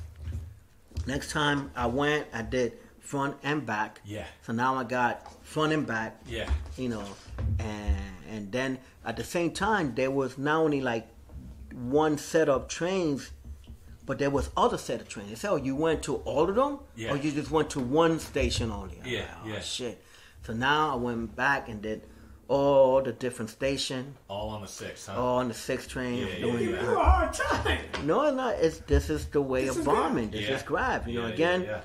you know, there's no book, you know, you could read that show you how to do this. You know, you had to really know someone that's done it before that could help you. 'Cause remember, this is all underground, Absolutely. Okay, yeah. and no one really has a face. You don't know who really is a bomber or a tagger. Cause nobody gonna be like, yo, I'm doing trains and, Yeah. and, and, and publicize it to any. So, you know, the only people that knew that I knew was these guys, and nobody else. And then you know from there I was doing trains. Now I'm I'm, I'm in like about three months doing these trains. Yeah. Like doing my throw up Yeah. everywhere. I'm taking the tag BG. Then I think I started doing the BG 183, and and I couldn't see my name on the train. Yeah. went by. Okay. I said, why? I've been, I, I've done more than like 200 cars or 300 cars. I can't, why I can't see it? Yeah. And then I started speaking to Bio, and, and Bio said, oh, he said, he said, don't worry about it. If you can't see it, somebody else is seeing it. Mm. But I said, I, I got me a little happy, but now I got, became sad again. Like, no, I want to see it. Yeah, I want yeah, to see yeah, what yeah. I'm doing. Yeah. And then, like another three weeks passed by, I look up to the train, and what I see, my name. BG. Then I went up again, I went up again, and I and I asked Bio, Bio, come on, man, let's me and you go up. He said, Yeah. for real? I said, yeah, come on, it's me. And then me and him started going up Oh. and, and doing all these um, bombing together, and he became like my graffiti partner, and we got a whole bunch of cans, and we said we're gonna do our first, my first piece on the train. Wow. So I went, okay, you know, so it was one of the coldest days. I think it was Christmas time. So we did. I did a BG, and I was doing BG with two E's. Oh. So I was doing okay. BGs. BGs. Yeah, okay. you know, like you know, Yeah, it was yeah, like it was funky for me. So I did a B G E E, and I remember spraying, and I was catching these drips, Mm. and that was looked nasty, like it was ugly. Yeah, yeah, yeah. But the colors was good, but the drip was like so crazy. And I was really upset with it because I caught so many drip because that's how that's how you could tell when somebody got experience. You know, the the way drip, they yeah. spray, if they spray with a lot of drip, you know already know that this guy's a rookie, a Yeah, toy. yeah. And I was a toy, so I went like that. I looked at it, and I saw two other guys on the platform. They were they always they also was writers. Yeah. And then when it came by, they were like, "Oh my God, that shit look awesome. That shit look good. Yo, you you really did it. You." And I said to myself, "Come on, man, you're joking, right?" Yeah, said, yeah, "Nah, yeah, BG, yeah. you rock. You and Bio killed it, yo. yo, your guys rocked it. I said, for real? I Yeah. said, he said, yeah, that shit look hot. It's the hottest shit running right now. Yeah. go, "Oh, yeah? And that gave me more confidence to Yeah. go back out there to do more. Absolutely. What was that first piece? Do you remember Yeah, the I, layout? actually, I actually have a I have a photo. picture. I have a photo yeah, of it. I actually put it up on my Instagram uh, Oh, not okay. not too long ago.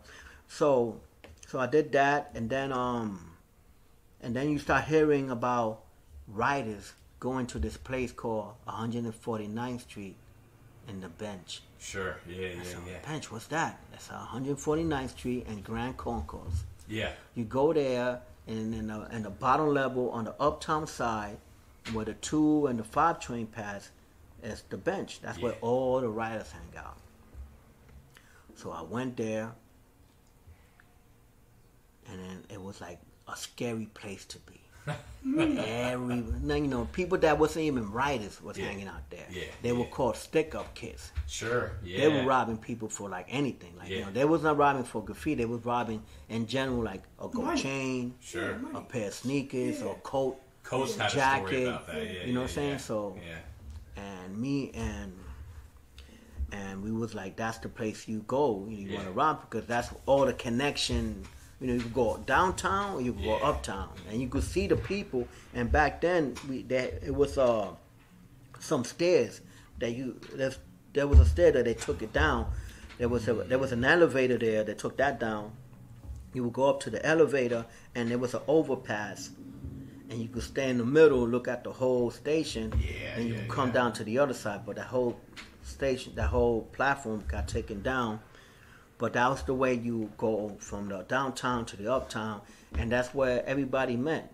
You know, like from like in the movie, you see them all hanging out on the bench, and Yeah. they're talking about, you know, like what was new coming to the to the station. Sure. That's why the five and two became more like the most, like the most view in Yeah. Ambi train station. So that's why I stood in the by the six train, the two or the five. That's Yeah. the only train that I really really hit Sure. because those were the main station where everybody would look at. Yeah, yeah, yeah. And it was easier also to take photos sure. because um the train would run through like like through Intervale and Intervale was a station that you could go here and go underneath and come back here without getting off. Or the rest of the station you had to physically get off, Get off and and, go around. around. So this yeah. you could connect.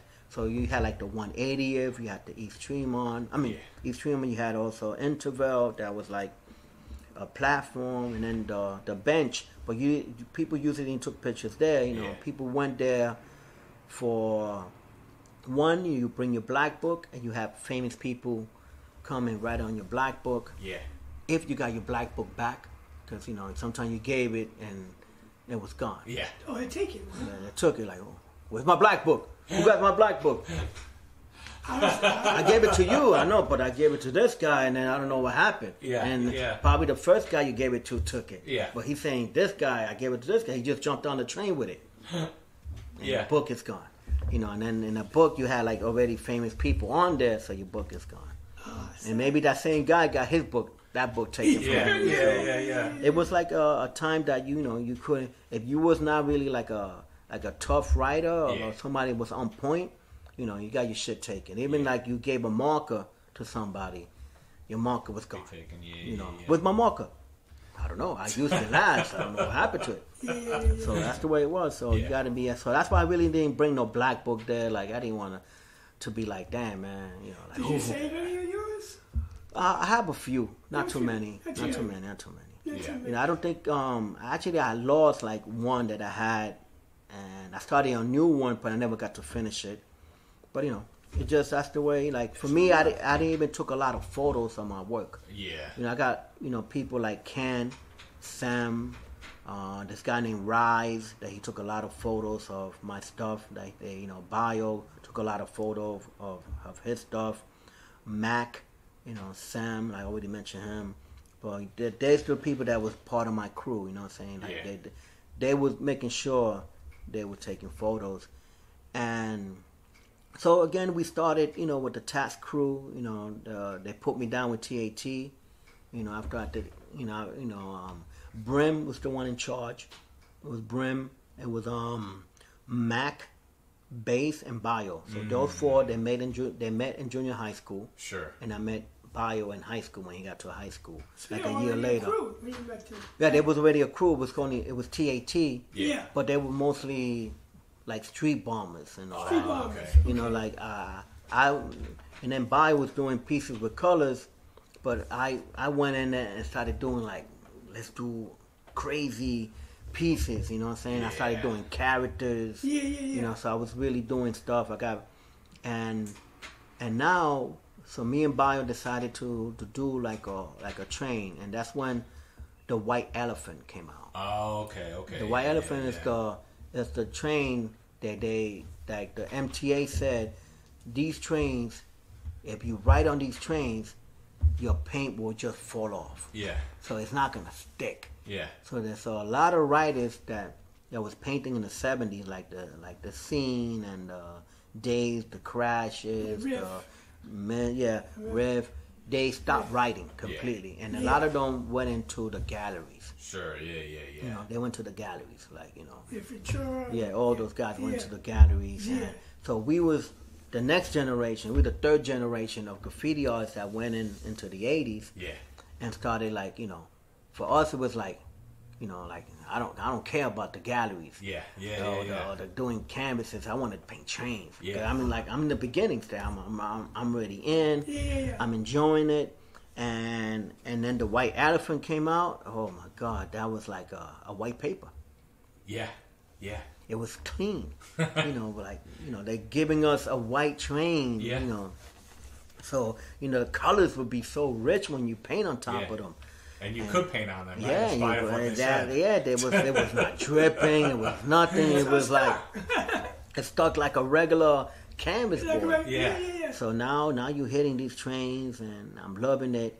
Um, my style is improving to like top notch, and and my other.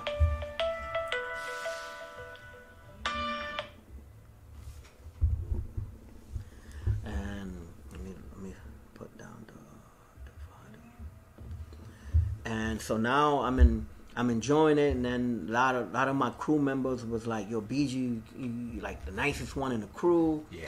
Uh, can you do me an outline?" Yeah. So I was doing outline for my crew. I was like kind of like the ghost writer. Sure. So I was ghost writing a lot of pieces there for my crew, and I didn't mind. I didn't Yeah. mind doing it. Like I was like, Yeah. wow, you know they. And then after like a, a, a couple months later, a year later, they stopped calling me. Like I don't want nothing because they they got their own style. Yeah. They they already improving everything. So, Yeah. and they know life life changed a little bit. Let me. Uh, then I started talking, you know, hanging out with Brim, and we met with Bambaataa, Afrika Bambaataa. Sure, sure, sure. And now Afrika Bambaataa is um he asked he asked me and Brim to paint the inside of the inside of the Bronx River Center. Sure, sure, So sure. we painted the inside where where you know where all these people perform like Red Alert. yeah. If you look back in the videos, uh, it's called Body Rock. Yeah, yeah, yeah, yeah. Um, you see all my graffiti that I did in the in the video. Yeah. There's characters, there's records, there's um, the Zulu Nation. We painted the Sure. Zulu Nation inside the center. So it was me and Brim that painted the inside. A lot of people don't really know that history. Yeah. That I painted the whole inside. Wait, and what year was It that? was like 82, 83 around there. yeah, yeah, so, 83. yeah, yeah, yeah. So if you Google it, you see all my pieces that I did. Yeah, and, and the thing is, I, again, I didn't took no photo of me actually Sure. making it. Yeah, yeah, But yeah. everybody know it was me because the style, style, the style sure. was there, you know. So, and then I did that, and then we, oh, I also did um, uh, the first hip hop uh, on TV because nobody haven't done any type of like DJing Sure. and graffiti and breakdancing Yeah. as a almost like a TV show, almost like before MTV, Yeah. before BET, Yeah. was a, a show called Graffiti Rock. Graffiti rock. Okay, okay. And so we did me, Brim, and and Shame. We did the graffiti for for that show. That was air on a Saturday. Uh, um, Pix Channel Eleven, Mm. and then they played it again a second time, but it was never picked up. Okay. They felt that it was kind of like too grimy. Yeah, Like yeah. the pigs felt like, oh, uh, I don't think this gonna make money, and they they canceled it. So it was only one show. The show was great. You still could see it. Yeah, yeah, You yeah. can still see It's it online. YouTube probably. Yeah, you could Yeah, YouTube yeah, it. yeah. It's called, it's called Graffiti Rock. So me. Brim, and Shame 125 actually painted this. So Wow. again, you know, that in in in uh, and you know my movement into the graff was always, you know, always there. Like you know, being in the in the right place at the right time. Yeah. You know, we did the stuff for Bambaataa. We did the Renegade of Funk. Mm, yeah. And that's a, a video that Shame and Brim comes out, and the first member that passed away, Dive, not Dive, um, Dill. Dill. Yeah, my friend Dill, he passed away, and and later on, I actually did a memorial wall for Dill, and that was my really my first time drawing somebody's face Yeah. with spray paint Wow. like taking a spray can and you know drawing the eyes, the nose, and it took me like three days. Yeah. You know, like the first day I, I finished it, but you know they said, oh, maybe you come back the next day, add some more, Yeah, yeah. and I did that, and I and then the third day we went back, you know, because that time it was no like there was no time, like you know, like take Sure. your time and everything. It was, we're doing it for ourselves. Yeah. not getting paid. Yeah. Just putting up uh, uh, a memorial wall for a friend that the first member of our crew died, so Mm-hmm. we did that. And then I also painted um, a rest in peace for um, Cowboy from Oh, okay. Grandmaster Flash. Sure, sure. So sure, me and sure. Brim in Bronx River Center, we went and we painted Cowboy. Yeah. You know, it was like uh, one of the, first memorial wall for a rapper that passed away that Yeah. we painted on the, in the again in the early '80s. So, you know, during that time, you know, um, life started. You know, I'm getting older. I'm already 19, going on 20. It was trying to pay bills. You know, my mom said, "Yo, you got to get a job." You know, so You okay? so you know that's it. You know because I always worked. You know again I worked with the security Yeah. on Nighthawk with um with Comanche that I was making money from there. So I was always making, but you know I needed like a more of a of, of a sturdier like you know like a five like a nine to five job. So Yeah, yeah. so my father put me on to work with him.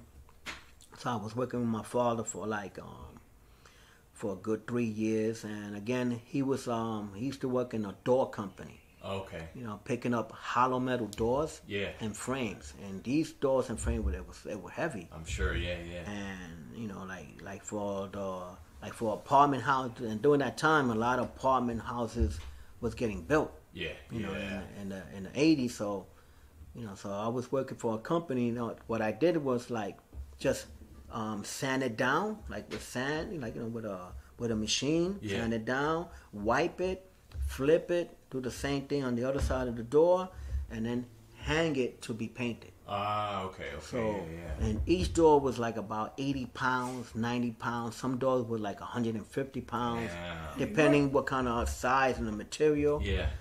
So I remember the first, uh, the, the the next two or three days, my body was aching. I couldn't close my hand because the machine was vibrating. Yeah, yeah, yeah, yeah. And my mom came up to me. I'm laying in the bed, coupled up like this, and she's saying, "Do you want some Tylenol?" and I'm like, "Nah, I'm good. I'm good." I'm trying to be tough. She said, "Are you sure?" Uh, yeah, give it to me. I took the two Tylenol. And then after uh, like a couple days in there, it was good. I was Yeah. picking up the You doors. I was it. strong. I was Yeah. like, yeah. So it was it was a good time, and at the same time, I used to meet up with the guys. You know, we used to go and, and maybe paint trains. But you know, it was a while. We did like the Ghost Yard. The Ghost Yard was on 100, 207th Street, Mm, and that was like a yard that it was like only us. yeah. No one else could go in. Yeah. Anyone yeah, who went in, you know, didn't left. They left, you know, like with the head crack, uh, sneakers taken, Yeah. jewelry. If What they line had, was that on? there was it was a yard.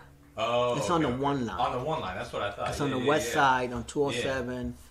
and I think it's I don't know if it's Broadway or Yeah, I think might be. Broadway. Or Yeah, Broadway, over- yeah. Yeah, yeah, so yeah. that's on the one train. So, um, So was T Kid like the go Shark? T Kid was also part of the crew.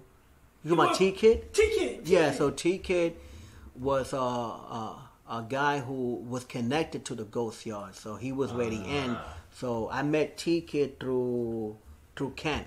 Mm. You know, I met T Kid, um, and he introduced us to the Ghost Yard, and I remember painting with him, and this guy was so fast because he was already an old school guy from the mid '70s. Yeah, yeah. So, yeah. you know, I met him in the '80s. So this guy was like so fast. Yeah. He was. He was like. He did. He did a train with us. It was a T Kid, Canon BG 183, Mm-hmm. and he also did two more cars. Like you know, one car, Yeah. but he did like a he did a Boost and a T Kid. Like he did all three names, but I was still working on one. But I also did the characters uh, on that train. But this guy was really really fast, you know. So he, crazy. so he introduced us to going the tour seven. So I was like one of the first member of TAT to go in there. Yeah. You know, to meet T Kid and Ken also got me in there also. So Ken is spelled what how? who T Kid? Ken Ken. Oh, Ken with two N's. K Two E N's. N N. K-E-N-N. Okay. And then his partner was Sim, C E M two. Mm. You know, they, these two guys was notorious in like in the graff world. Like Yeah. you hear those two guys coming, you run. run. 'Cause your your shit was taken. No You know, there was no you was no surviving. Yeah. Wow. Everybody got robbed. Coke Yeah, two yeah, got yeah. robbed by you Wow. know, they robbed Coke two, they they robbed everybody. They didn't care. Yeah, yeah. They yeah. didn't care who you was. You know what I'm saying? And you was this I don't care. Are, are they still around? They still in? Yeah, they're still craft active. world? Yeah, they're still they're still active. You know Yeah, what I'm yeah, saying? yeah. Like, you know, like So they were part of TAT. Yeah, they're part of TAT. So that's how TAT, you know, got to grow more. Like eh, Yeah. again, when we went back to the to the bench at 149th Street in Grand Concourse, our crew was big. Yeah. we, we already had a reputation, and people already knew TAT was not playing. Yeah, yeah. You know, we was rob, we were robbing everybody. We were punching people in the face. Wow. You know what I'm saying? All the writers, Yeah. you know, they they had to respect us. You know what Sure. I'm saying? You know, they, Sure. remember we was in our in our age that you know, like again, the hip hop world was there, so it was like you know, people was afraid of us. you know, what I'm saying yeah, knew yeah. that you know that you if you had paint, and that time you gotta understand like when we got when I got in the '80s, a lot of the paint stores was already burnt out. Ah. So you couldn't really go racking Yeah, yeah, yeah. because all the old school writers from the 70s up to the 80s already had places already, you know, that's where they started putting gates Ah, behind yeah. these spray cans. So you couldn't get them. So we couldn't get them. So what you had to do is sometimes we had we had to travel Mm. all the way to Philadelphia, to Boston, up in, up in Connecticut, New Jersey, you know, because those places still They have have the can open, Yeah. know, like in like a shelf. Yeah. It's like this. You just grab it, take it. Yeah. Sometime one of us didn't get back because they got caught. Oof. So you know, it was a hard time during that time. So for us, is if we didn't know you as a writer, Yeah. and you came in, hey, hey, hey, hey. I'm painting over here. I said, What yeah, you painting? How many cans you got? Yeah, I got like 20 cans. All right, so leave the cans and wave goodbye. You're like, huh? What you talking about? I said, leave your cans. You know, and you know, my people they carry knife. Yeah, yeah, and We yeah. had like machete. We, we didn't care. We, Yeah. we had ice picks. Yeah. Wow. We didn't play. You know, Yeah, like yeah, you know, yeah. yeah. We don't need. We don't need it to use it. We just Sure. gotta, we just pull it out. Yeah. You know what I'm saying? But uh, remember, we went to Utica one time. That's in Brooklyn. Brooklyn. Yeah. Yeah, We went to Utica um, tunnels, and we painting, and, s- and then this um, two writers come up to us and say, "Yo, we're gonna rob y'all." We like, "Huh? You gonna rob who?" Yeah, we're gonna rob all of y'all. and next thing you know, you know, um, my boy said, "Yo, they got a gun," and we didn't have a gun, but they said to us, "Look, we let you rock, let you put your name, Yeah. but leave all your paint behind." Yeah. And we're like, shit, what can we do? So we painted, we try to use how much cans we use, yeah, yeah. and you know, like you know, and and we took some cans. We like, oh, put some uh, the full cans and put them to the side. Yeah. We don't have to give them everything. Yeah. We give them something. At least they'd be happy. So Yeah. we give them like at least ten to twelve cans, and you know, we give them like really empty cans Yeah, yeah, yeah. and maybe two full cans. Yeah, yeah. And that time they came out with like with new cans, Krylon. They came out with a color called Bonfire. That was like a new can line of colors. Mm. Yeah. Bonfire and Spanish Fly. I could hear them saying, "Yo, look at this color, Bonfire. We never had Bonfire before." You know, but then you know we left. Yeah. You know, we was upset. You know, we got robbed.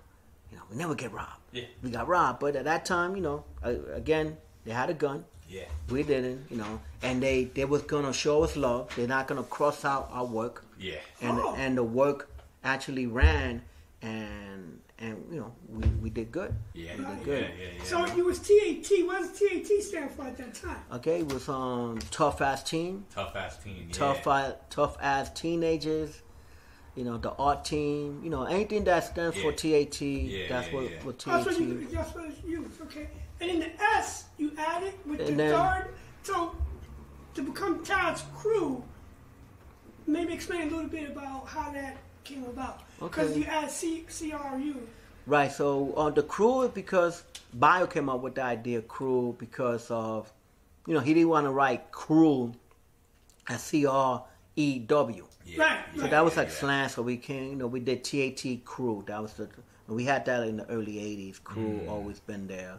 Oh, okay. And then um, so now now we couldn't paint again. We couldn't paint no more in the, in the subways. You know, it was hard. You know, it was everything was kind of locked. And then plus we're getting older. Yeah. You know, everybody's kind of like working. You know, like Yeah. like that.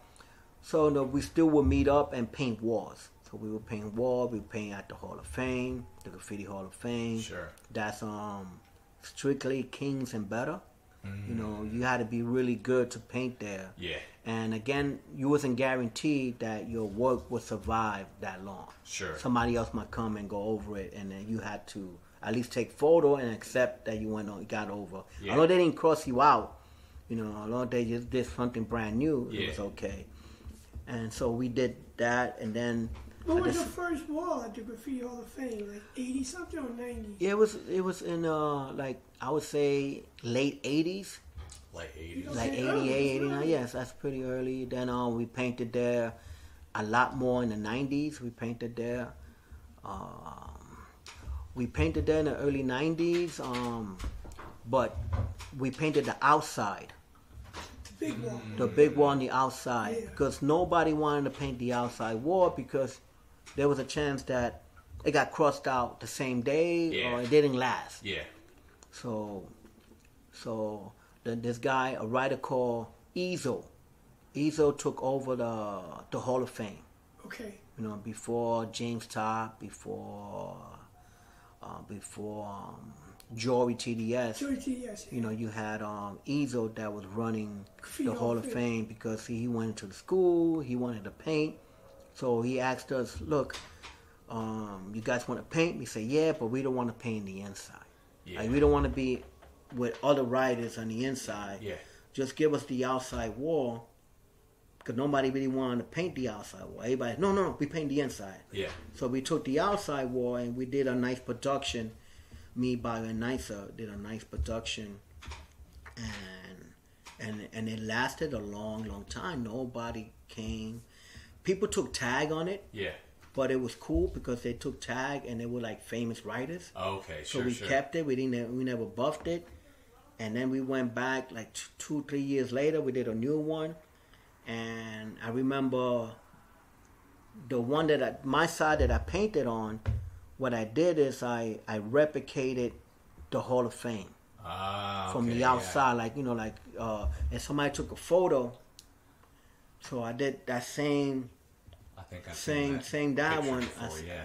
I did that, you know, and then when I did uh, when I was drawing like the the actual wall that we painting on the at the wall, Yeah. I did the same thing that we did on the wall, Yeah. but I forgot that I had to paint it again, so I had to paint it smaller Yeah. because it's the one image but I'm painting and I have to draw the same image again. So I had to redraw the same image again, and they got smaller. I said, ah, nah, it's staying like that. I'm not, I'm not going smaller than that. But I did, I did the whole thing, and and everybody loved it because Yeah. I did the projects, and and people used to come by. Like I went went back a year, two years later. And they would say, "Yo, I live in that building right there." And they would point Yeah. to the mural, Oh, and we okay. love this mural. This Yeah. one of the best mural Ever. done, you know. And then at the same time, the Nicer did a nice, cool area. Bayer did a nice, cool area. So it was it was good. Yeah. So it lasted a long, long time. Nobody was crossing out. And then we went back, and we trying to do a whole brand new wall. And they told us, like the people in the community said, no, don't take down the one that I painted. Yeah. Leave it. Yeah. We're like, no, no, we have to. We put, no, no, leave it.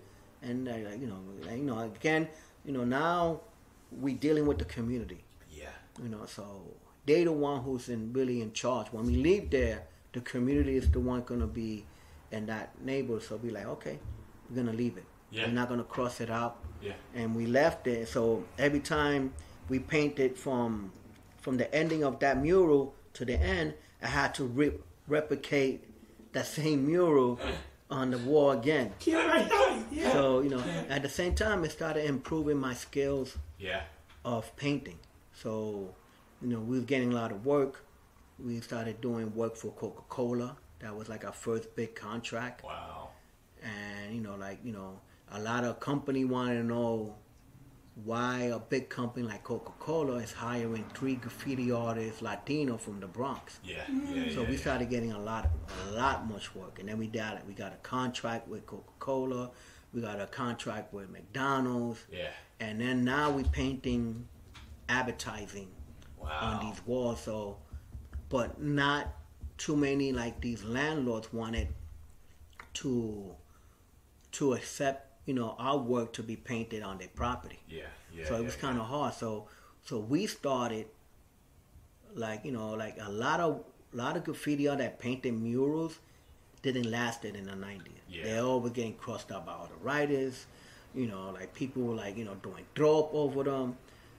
Artists were trying to paint artwork, regular artwork. They were getting crossed out, Yeah. and we didn't want it to be that artist that we did work. It got crossed out. Yeah.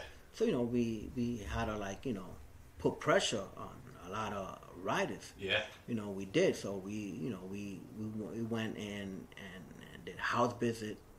You know, we make sure that you know like you know you know who you know who we are. Yeah. You know, don't cross us out because you know it's not gonna look right. Yeah. And a lot of these walls would um was you know graffiti art that was doing like street bombing, but you know what we what we was telling them like yo we not we not physically going over you. Yeah. Don't take offense, you know, because this is not we trying to do. You know, this is this is more business. Yeah. You know what I'm saying? And the landlord's giving us permission to paint over it. Yeah. It's not personal. Yeah. You know what I'm saying? Like, you know, and we gonna buff the whole wall. We're not gonna like leave a little piece of your name Sure. sticking out that looks like we went against you. Yeah. We're gonna yeah. cross everything. You know, we're gonna go all over everything, and then we were getting so much work that we said to ourselves, maybe it's good for us to like maybe start hiring all the graffiti artists from from you know like we from this part of the Bronx. Let's hire this artist from this part of the Bronx. Yeah. Let's hire this artist from Manhattan. Let's hire this art. You know, at the same time, we not we ain't trying to step um P, uh, other writers' um foot. You know, see they don't feel that we're going against them, so we started doing that. Like, oh, look, we got two walls for you. Yeah. Oh, beautiful. To be paying fifteen hundred dollars for you to do a wall Yeah. Yeah. beautiful. And they went, they got the wall, and then we had like a total like maybe like nine artists in New York City area doing Wow. work for us. Yeah. You know, so we was only subcontracting the Yeah. work and pay, and then we would take some for ourselves. Sure. Like our walls that we already had Yeah. was our wall. And then you know everybody was like Tats Cru, Tats Cru. You know, now they showing us love, and you know we showing love right back, and eh, that's how that's how we started doing. And then you know, after you couldn't, then when the the economy got messed up in 2000 and what was it? eight, like seven. fifteen, like 15. Oh, okay. Yeah, you know, yeah, like yeah. when nobody was making money, that inflation got hit hard. Was in was it 07? No. That's when it first started, but it took took a few years, I think. Yeah, yeah, I think in come into effect. yeah, it could be right. It could be it could be 07, 09. So yeah, 07, 09, Yeah, it was so bad that that we don't know how we survive. Yeah. You know, yeah, I think yeah, because yeah. we was in a location that like our office is based on is based in at the point. Sure. Yeah. so the point was like, you know, they was really good with us. They because, just you know, their 25th anniversary, right, right? Right. So we've Last been year. there. Actually, they, they, we've been there a little longer. So they, I think they're around almost like 27 years. Yeah, yeah, yeah. No, yeah. Right, yeah, about yeah. 27 years. We've been around there like 26 years.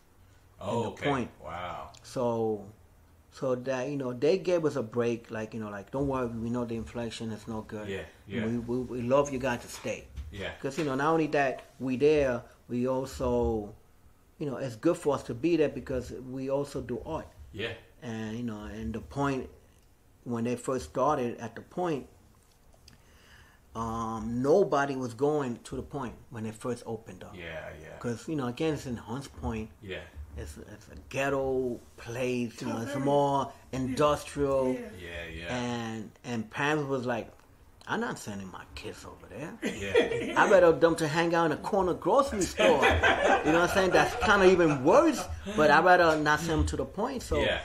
they the point was sent out a lot of like information. that we got after school program, we got the theater, theater, we got this, we got that, and nobody would show up.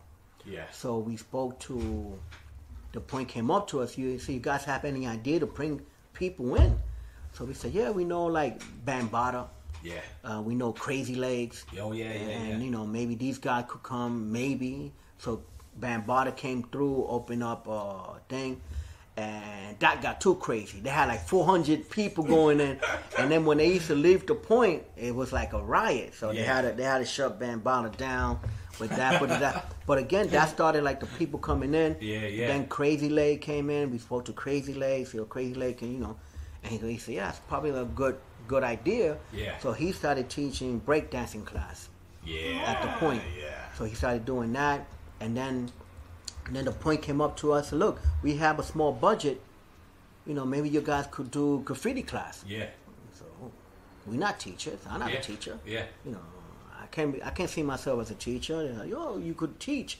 So they started bringing like elementary schools kids, and they were too young. Yeah. They're too young. You know, one Yeah. kid ate an eraser, right? And I see Bio going like this to him, yo, yo, take that, you know. Oh my god. And you know, it was it was then. Then they said, okay, maybe we're bringing high school kids, yeah. and that worked out. That so we did out, uh, we did almost like a year program with them. Wow. That two or three of them became famous after they graduated and hired us Amazing. to do work. Like one guy was um, in charge of production company for for music videos. Yeah. So he called us to do a video with Beyonce Wow. and, Unbelievable. and J. Wow. Cole called The Party. Yeah. Wow. So Wow. we came out in the video and he the one who got us in and got us paid to do the video. And the funny story is they kept telling us, guys, when you see Beyonce,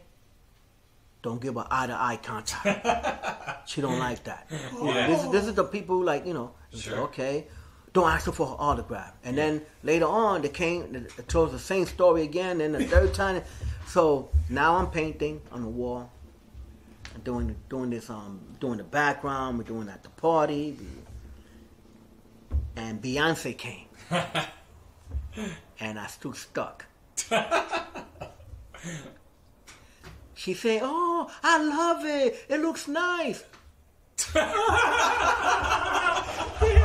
she spoke for like a uh, like I don't know two or three minutes, Yeah. And like you know like someone say freeze, and I just froze there. I never saw Beyonce's face, never looked at her. You know, the only That's one I so spoke to her was nicer. Nicer was like, and me and Bio was the only one stuck like Froze. this, like frozen, like. Uh, Wow. So because they kept telling her, "Don't look at her, don't look at her," and I thought I believed it. Wow. and you know, so life been like really good. You know, what I'm saying like you know, me by nights have been together since high school. Yeah. So you met Nicer in high school then? Right then, later on, I met Nicer in high school. He was like the youngest one in the crew, mm. and you know, he used to just tag along. Yeah. Okay. Like I'd be like, "Oh, I'm going bombing." He said, "Can I go with y'all?" I'm like, "Okay, come." Yeah. Yeah. you know, yeah, I was cool, everything, yeah. You know, I invited so many people to to write with me, even when I first started, and I'd be like, okay, we used to do a lot of street bombing. You Yeah. know, I, I saw a lot of pre-sweet tags, a lot of BS one nineteen, a lot of blade tags. Yeah. You know, like when you bombing, you start seeing all these famous people bombing, and me and a couple of friend of mine that wanted to do graffiti, they did graffiti with me. But when I took them to the tunnel, I said, "Come on, you ready to go in the tunnel?" Where? I said, "In there." I said, "It's kind of dark in there, isn't it?" I said, "Yeah, it's dark." About the rats, yeah, they you they Yeah, sometimes they, they, they, they go around, but it's, don't worry about it. There's there's other people in there. So yeah, there'll be sometimes there other people, you know, but don't worry about it. Let's go. Let's go. Nah, man, I don't feel like riding. You know, I ride a street bond than go in the tunnel with you. Like, ah, you for real?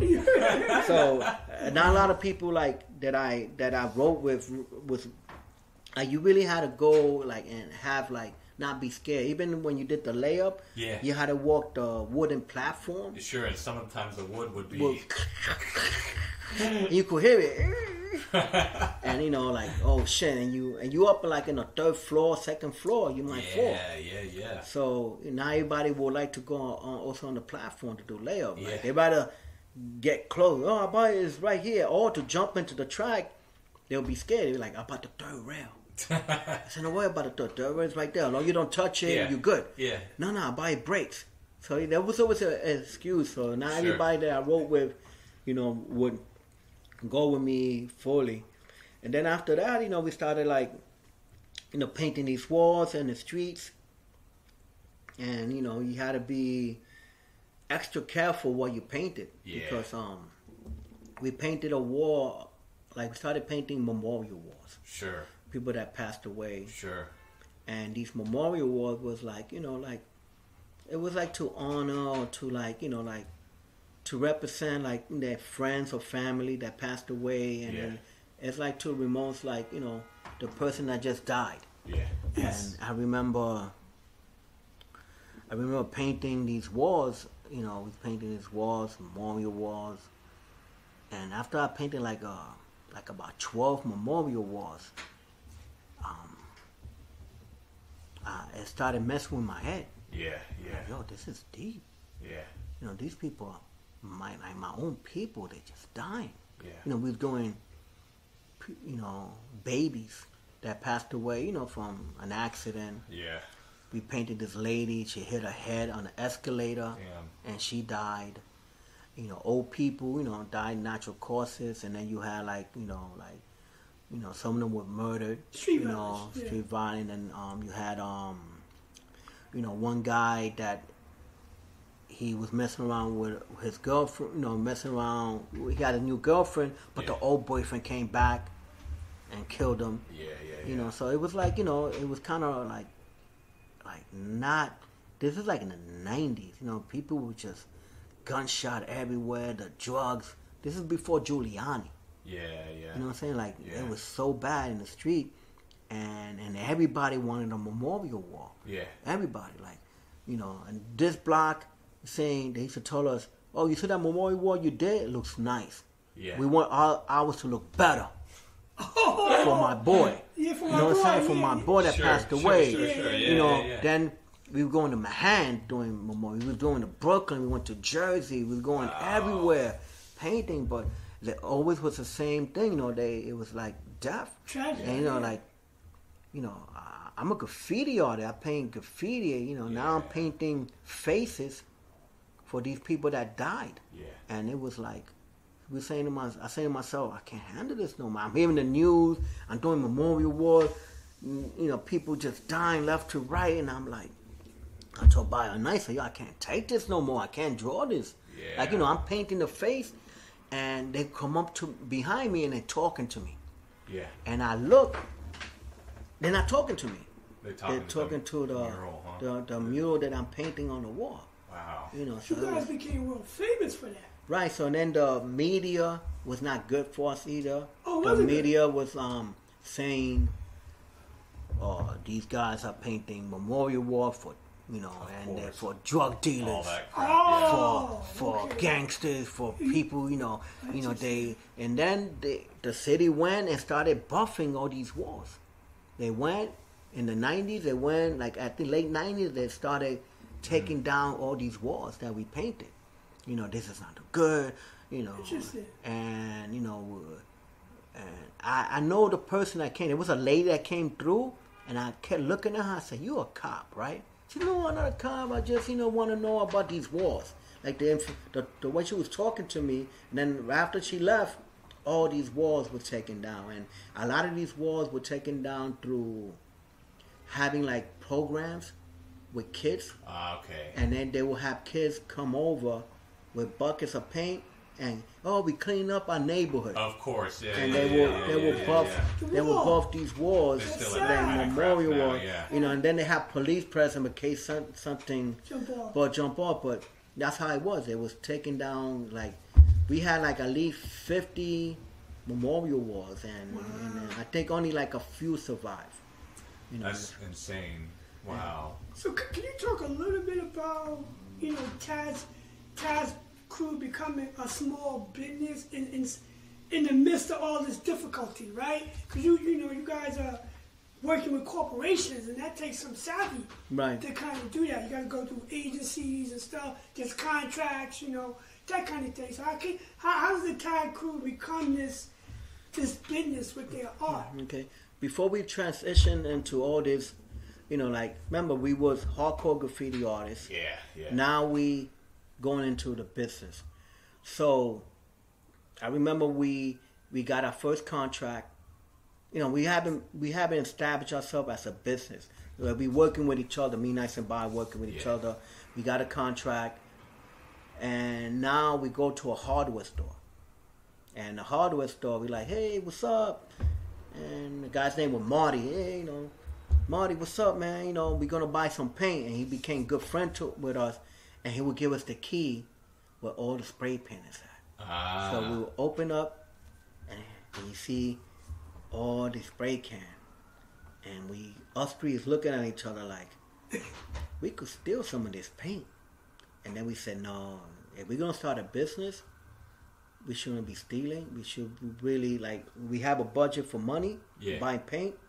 Let's buy paint yeah. and that's how we did. You know, we, we went in there and forgot. But again, you know, all that Sure. I, I could take at least 10, Yeah, yeah, 12 yeah, cans. yeah, yeah, yeah, I could yeah. rock, but It'd be and, okay, yeah, and, yeah. and then the day wasn't, you know, and the guy wasn't even looking. Yeah. There's no camera during that time. Yeah. So be like, no, let's make it, let's let's keep it, you know, legit, to the sense that we we are businessmen now. Now we, so it was kind of hard. Yeah. Even yeah, yeah, even yeah. when we went to go look for walls to do these um to do this stuff, you know, um we will go and talk to the landlord and say, look, we're gonna do a graffiti mural. To... No, I don't want it. And we go back and say, oh, we're gonna do like a mural, you know, graffiti mural here. Oh, I don't want it. Yeah. And then I said, damn, what's going on? Maybe I have to stop saying graffiti Oh, and say art. An art Oh. mural. Are we gonna do a mural, a art mural here? Oh, okay. Well, yeah, we're a little art mural, and then that's how they kind of open up. So, Wow. so It's- and it, because and again, the media was also saying graffiti's not good Yeah. in the nineties. And- yeah. You be careful And they're the ones who gave the name graffiti to it to right begin with. in the you know? beginning with, and you know, in a sense, same thing like the word hip hop. Yeah, yeah, yeah. And, you know, we really writers, you know, but you know, we know that story. So, but so it was kind of hard for us, Yeah. you know. So we started like you know finding ways and how to really talk. Be like, okay, look, we're gonna go into your. We want to paint your wall. Your wall's already vandalized. yeah. And they're like, oh, I don't want it. Oh, no, just hear me out. Maybe I could paint the wall for you for free Yeah. uh, do a mural because it's a grocery store. Yeah. We could do something with Coca Cola, Yeah. and I could give you some money. Some money. Oh, Oh, you gonna give me some money? I said, yeah. You know, I, I have in the budget three hundred. Yeah. We paint the wall, Yeah. and you know, I, I just need a okay. Yeah. Oh, yeah, yeah, okay, okay, okay, okay, yeah, paint my wall. Paint the Paint wall. any wall. You gonna paint now? No, no, no. When I come back, I gotta, I gotta let my client know that we're Yeah. gonna paint this wall, and, It's I, and then it's okay. Yeah. And I will come back a week later. Look, it's a three hundred. Yeah. And then, and then from there, you know, at least the wall has to stay up, at least a little bit. You know, Yeah. at least uh, after two months, three months. Yeah. So uh, they started working, and we like, and then one we had one wall that got that got crossed that got buffed by the owner uh, Yeah. a, month later, and I said, oh, I thought you were gonna leave it up. No, it's a month. Yeah. I only keep it up a month. Then we made a contract that you know, like here, sign here. I'll give you this money. Yeah. Um, just say that uh, the wall gonna stay up for two or three months. Yeah. And then we started doing that, and then though, so we started mostly the the street movement that people now could paint the street and the Sure. wall last, but back then, no mural will last. Yeah. You know, we started that movement that, you know, you allow, you know, to go over a wall that has, again, graffiti on it. You could go over it without the, the actual graffiti on it come back to cross you out. If, if Yeah. you do that, it's, it's, it's a no-no. You don't do that. Yeah. You yeah. know, so we started like that's how when when we started giving out these walls to other writers, they started spreading out the news that you know this is the way it should be, and everybody should be happy with it. It's not like we're going against you, yeah. you know, physically. Like we, it's nothing personal. It's all business. Yeah. And so that's how we started doing these wars and getting permission. You know, like it, it, it wasn't it wasn't it was hard for us. We was not making no money. Sure. Sure. We were broke in the early '90s, hmm. really broke. yeah. You know, there was like you know six months that we didn't even get a job. Wow. My wife was telling me, "You better work at McDonald's. Yeah. Yeah. Yeah. Yeah. Go to yeah. McDonald's. Go to White. I don't care. Get a job." Be like, "Yeah, yeah, I'm gonna go get a job." I Because I left my job already. Yeah. Sure. You know sure. what I'm saying? I left my job in the 90s, and and how I left that job was because I was an engineer for a company called Acme Steel Door in Brooklyn, and my supervisor was like, because I used to paint walls, like go to my job Yeah. and then meet up with the guys. Like around eight o'clock at night and Yeah. paint until we finish. Sometimes we finish at three. Sometimes we finish at five in the morning or six in the morning. I will go home, jump in the shower, drink a lot of coffee, and go to work. okay. and then get to work, and I'll be sleeping in my in my desk. Yeah. Yeah. And I yeah, remember my yeah. boss, my supervisor came up to me. She said, "You have a choice. You could leave here, or leave the other job. You can't be sleeping here." Yeah. Yeah. And that, that rang a bell. Like, oh, okay, that's a choice I wasn't thinking about. I'm Yeah. thinking about working, making money, and then this will be also making money. So I'm Sure. making money Two- two both jobs. ways. Ways, yeah, and, yeah, and I'm yeah, okay. yeah, yeah. And but uh, it wasn't like that. So when Yeah. we we started landing all these jobs, I said, okay, it's time to leave. You know, Yeah. so I saved up enough money that I said I'm gonna leave my job and never look back. Yeah. So I left it and never looked back. Wow. But when that money ran out, there was no more money. We was like, what the fuck we gonna do? Yeah. There's Yeah. no yeah, more yeah. money in the street. There's you know, you know, it's kind of hard, you know. And then we landed another company called Crooked I. They were like a like a bill distributor. They they had like a like a juice called Crooked I, almost like a drink alcohol. So we started doing that, and then we started doing like other small jobs here and there, doing mom and pop stores. We did She Was Regal, Mm. you know, and during that time we did ABC Carpet and Home. Okay. Yeah. Yeah. Right. So, so um, how we started the company TATS? I mean, the the adding the S to the Tats crew. yeah. Uh, we met, we met Fat Joe. Um, the time that we was also doing a, a music video for KRS-One Oh. Okay. Okay. called Sure. Sure. Mad Lion. The line Mad Lion was the was a singer. Uh, he was doing a song, and we was actually painting in a place called the Bronx Hall of Fame. It was located on 169th Street and Third Avenue behind the school.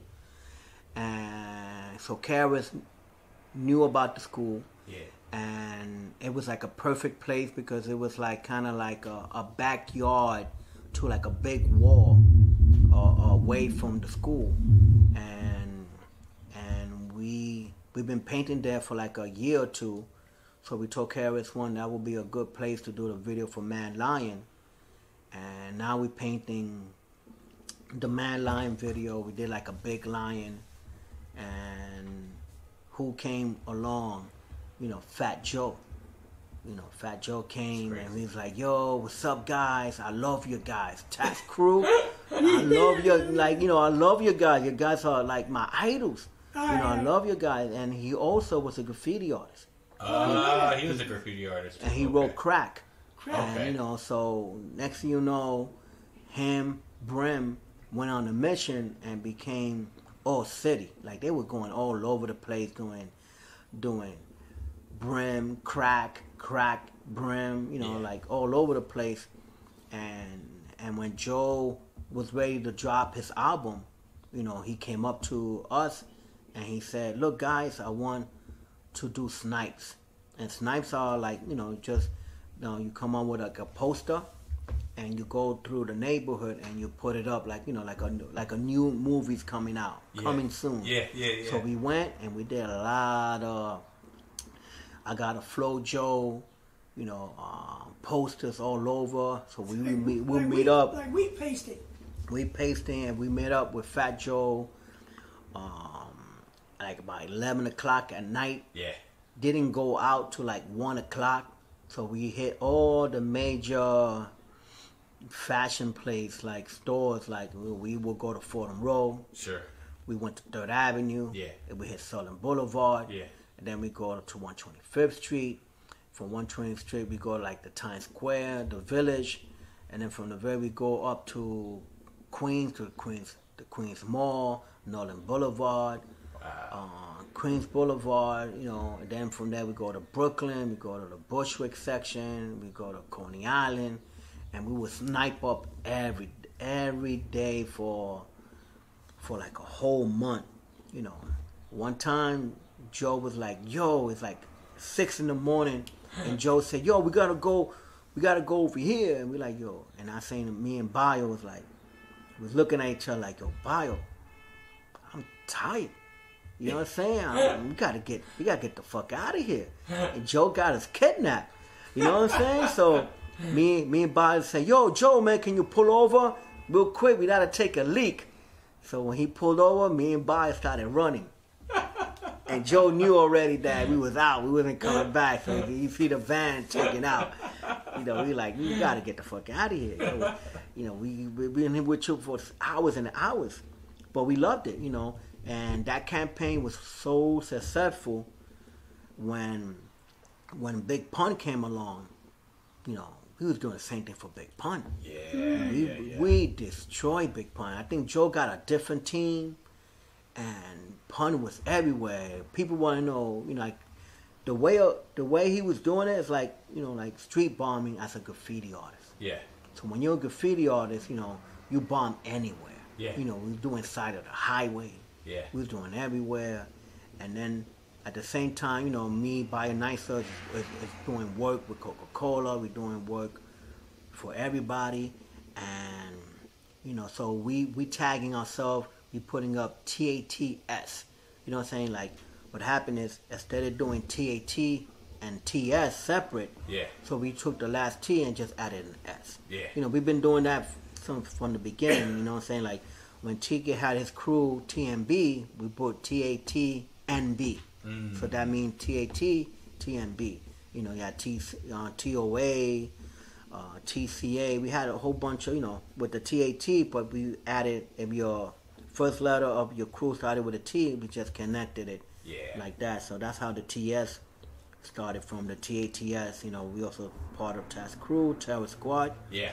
and so we just kept going it, kept doing that. You know, uh, we painted.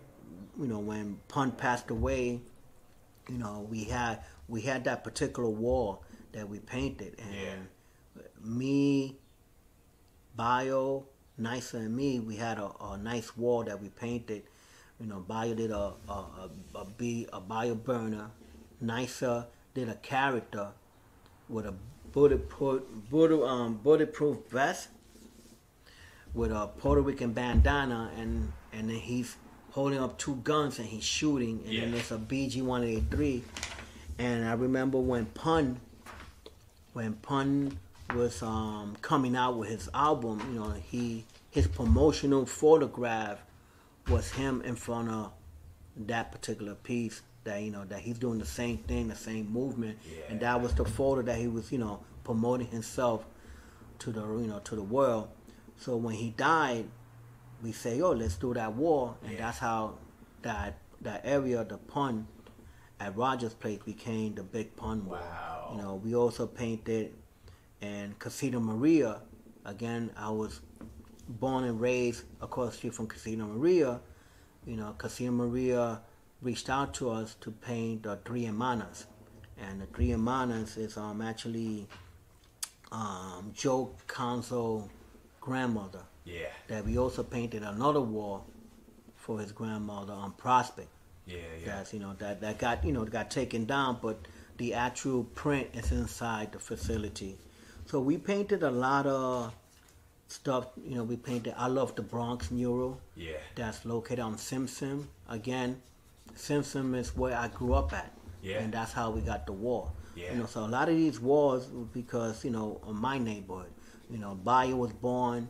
Um, Bio was raised up in Bronx River Project Okay. Sure. and sure. that's how I got to go got to meet Bambaataa Ah. because of because of Bio. But Bio lived in Bronx River, you know. Um, so we did a lot. I did a lot of stuff in Bronx River, um, but it was you know a great time. Like it's a lot of a lot of stuff that we did that's still out there that you still could see, you know. But and after that, um, the company is just we just you know taking the company in a way that not only that we do murals, we also do vinyl, we do contract, you know, for other stuff that we do, you know, we do lectures, you know. and you got a show going on right now too, Right. right? I did a show at um at Worldworks Two.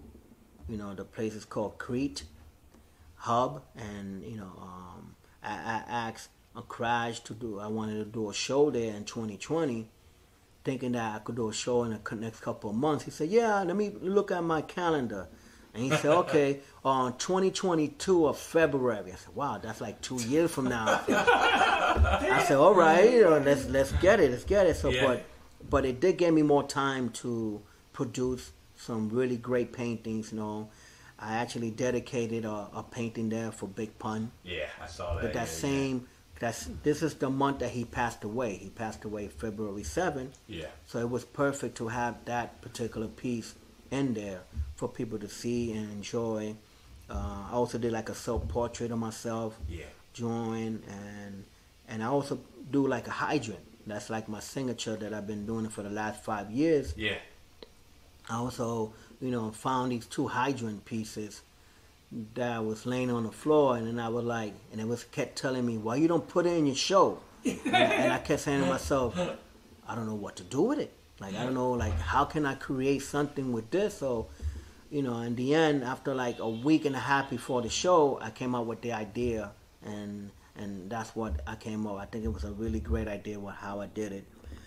And this is a, a, a show that that you know again I just wanted to show people uh, like my fans, my family that I really love art and this is something that I was like born, you know, God gave me a gift that um that I'm still using it and you know and doing a lot of positive things with it, you know Absolutely. and and in the end, you know, I, I'm, I'm proud of the show because you know, again, we got the COVID, Yeah.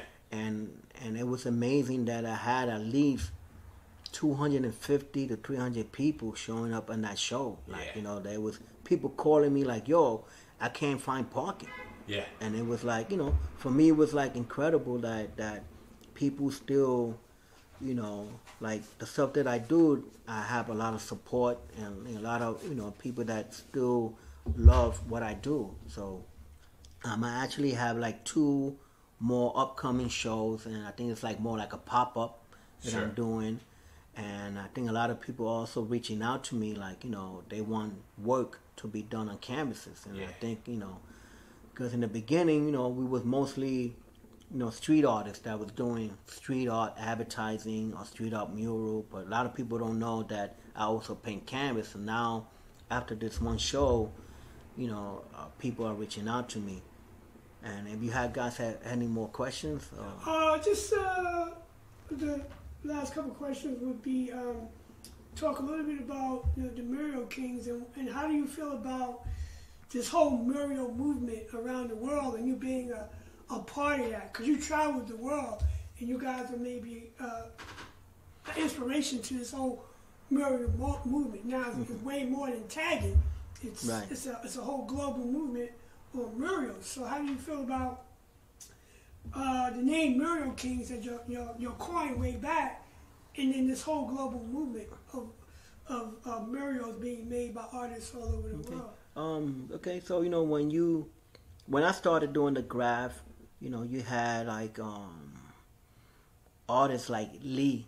Lee was doing incredible mural back then in the eighties. You know, he did like Yeah. uh, he did one that was in the train station that that you know that was like my internet.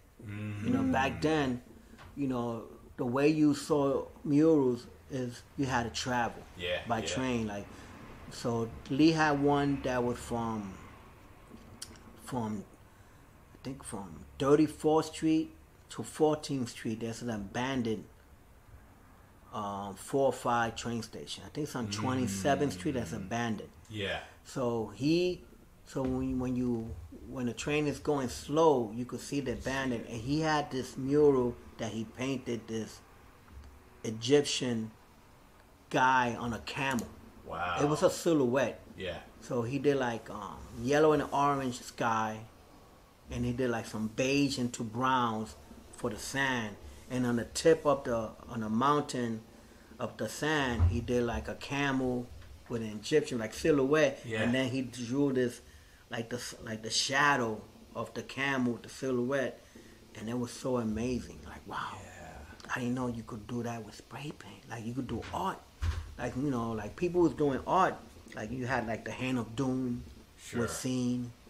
You know, and then Lee did another one that with uh, I think it was um the 2001 mural that he did with a lion, and that, that was so that was so crazy. And then Lee did another painting that I saw on the train, and then you had Seen doing top to bottom with colors. Yeah. So you know, this inspired me to like, wow, it's more than than you know than a piece on the train. It's like it's a whole production that you could do. Absolutely. So that that brought me to a thing. And then in the early '90s, we was traveling a little bit around the world. You know, we Yeah. traveled to France, and we met a crew called Mac Crew, MNC mm. Crew and they were like one of the best crew out there. They were doing like top to bottom crew, and so we needed to change our name from TAT. So I came up with the idea. Let's do. You know, I'm gonna call myself the Mural King yeah. Mm-hmm. because you know at that time we were painting so much mural. We like, yo, we call ourselves the Mural King. Yeah. Yeah. So yeah, yeah. then, and then we took it and we, we did it for our company name. Oh, let's do the Mural King as the mm. company. And when we started traveling, you know, these people was doing like side of buildings, incredibly like doing like style, like you know, like doing characters, like doing like some stuff that it was amazing.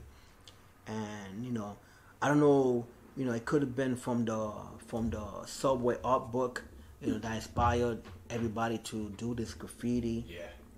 could have been like again you had the only way you saw graffiti was through graffiti graffiti magazine Sure. Sure. Sure. they had yeah, a lot yeah. of graffiti magazine that was out there and because of this graffiti magazine you know and again there was getting done here there was like a like one or two uh, magazine in, uh, in New York City but a lot of the magazine was coming from overseas Yeah.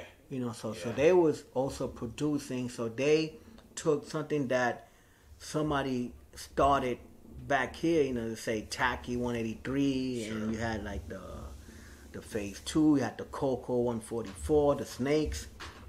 I was writing, but it just took off. You know what I'm saying? Like, you know, people used to interview me and say, you know, why you want graffiti to be at? And I Yeah, said, yeah. I want graffiti to be on a plane, Yeah. on the side of a boat. You know, well, now it's there already. You know, Yeah. people painted plane, helicopters. It's in movie backdrop. You see a lot in music videos, Yeah.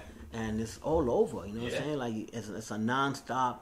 You know, we actually did total of like 29 music videos that we have out there Wow. that we did. You know, from the early 80s. You know, like so when people ask us, you know, how long you do, been doing business, we've been doing business since the, when we first started. Sure, sure, sure. You know, it's not like you know Absolutely. we started in the '90s. Yeah, we officially went and got it like a, a copyright. Like, yeah, Tats Cru is now a company, but Yeah. we've been doing this from from early early '80s Yeah. when we first started. And and today, you know, Bio is you know he's doing his heart. You know, he's all over with the heart, nicers. You know, getting busy doing his characters and doing paintings. Like, it's incredible yeah. and then myself, you know, I, I'm gonna continue doing what I'm doing, and then I think when us three get together, you know, it's amazing work. You know what I'm saying? Like, Absolutely. Yeah. you know, even even the new school writers, they they show so much love. They're like, you know, and I looking at their work, they're like, wow, you guys are way better than others. Like, no, no, no, you guys are the gods. You know, and, then I said, thank you, thank you, That's thank right, you, yeah, yeah, yeah. thank you. Like, you know, Yeah, like for sure. like I, I see myself like I'm not doing the type of work you're doing, but they they looking at me like you know, you you so good at it, and because not only that we do like a lot of a lot of writers they only it's only a few writers that that specialize in everything. Like there's Yeah, only yeah. there's a couple writers that I just do characters yeah. and they can't do letters. Sure, sure. And there's a lot of people that do cat that do letters, but they can't do characters. Yeah. And a lot of pe- people that do characters and letters, but they don't they don't have a hand style. yeah, yeah, yeah. So you know, a lot of people, Yeah. it's, it's real different now. It's Yeah. real different. It's a different movement, and I feel like you know, whatever you have, whatever you have to give, it's the best. You know, like it's not like you have to stop. You know, you just continue doing what you're doing. You know, like uh, I know we started traveling around the world, and like we went to Mexico, and in Mexico, you know, the different, the different art in Mexico where they, you know, again, the paint over there is like, like three times as much over there, you know, because you, know, you take the Mexican money and our money is like about like nine time, eight time. So over there, you know, for them to get colors, you know, like this is like late '90s. So they take one color, like a like a like a light yellow, and they take a, an orange, and they put a they put like two different type of cap mm-hmm. on, on the on the spray can, and they put a straw between these two cans. So if this can is kind of empty, they spray this side and they put a color that runs from one can to the next can to mix a color. Wow. In Mexico. In Mexico, we're like, oh That's wow, this is, this is like you know, like you over there, and and you seeing this happening, you're like, wow, this is incredible. Like you know, like I would never guess, you know, to add two colors together. So they figured out. So everywhere you go, it's always something new. Yeah. You know, like, and again in Mexico, we, we noticed that there was a lot of, like, the percentage of the woman was a lot of woman graffiti artists. We like, wow, this is incredible. Like, like in New York, you see them, but it's not so many. Sure. But sure. in Mexico, it was like about forty percent of the women was graffiti artists, and- and sixty percent were men. I'm like, oh wow, this is this is really awesome. So to this day, you know, what I've been doing is just been drawing uh, almost every day. You know, um, I took a trip to Brazil, and I remember this was like like 2015 or 13. I went to Brazil, and during that time, you know, like I'm painting murals for everybody from McDonald's to movies that's coming out brand new. I'm doing doing T-Mobile, doing AT&T. We're doing stuff for everybody, but it was like I'm doing something for someone. It Yeah. was not I was doing something for myself. So it became a job. Yeah. And like you know, it kind kind of became kind of boring to me. Like, okay, I'm, I'm doing this, I'm painting this, so yeah, use this color red, use this color blue. So it was like something that we had to do, you know, for us to get paid. It was all right, but it was nothing like I felt was like was for me. So when I took a trip to Brazil, it changed my life. Because I'm seeing these artists that painting out of raw material, like you know, they're using brushes. They're taking a wall, you know, here in New York we paint the whole wall one color. Yeah. There they just paint whatever image they want to throw on the wall. So it's a person's face or with a body, they're just doing a round circle in the body, and that's it. The the rest is just raw brick, raw cement. Yeah. So when I went there, I painted with like close to like 50 artists, and I'm seeing every artist, you know, like kind of like struggling, like you know, because again, paint costs so much money, Yeah. and they're making something out of nothing, and it brought me back to how I started, Mm-hmm. and that's when I left Brazil, I was a new artist. Like wow, this like opened up my eyes to saying like you know, don't take this for granted because Yeah. because you're good of what you're doing, you know, there's there's always something that you always gotta give that and it's same thing like a boxer. You know, after a while you box and you're winning, it gets boring. Yeah. You know what I'm saying? So you you always gotta keep that that heat, that energy in your body, keep going. So in this in the solo show, this is what I did. Like I gave it I gave it my all. I, I, I didn't take nothing for granted. I said, look, you know, people want to see more, I have to give them more. Yeah. And, you know, and that's what I've been doing.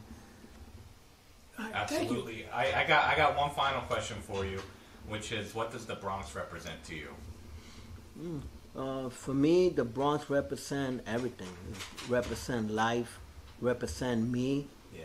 as a person. Because without me living in the Bronx, you know, it showed me different elements of of life, from being poor, from being broke, from seeing everything that was like when people say, "You live in the Bronx," where in the South Bronx? You know, and for me, it was like life. You know, like you know, we had the hydrant, we had sports, we had street games, we had everything that that you know only in like in poor neighborhood would have, and, and we and we did. You know, you know we had we had the crime rate. You know, you had to protect yourself. You had you know your friends that was doing so much crime, or you had your friend that passed away too early in the game yeah, that you didn't want to hear about that.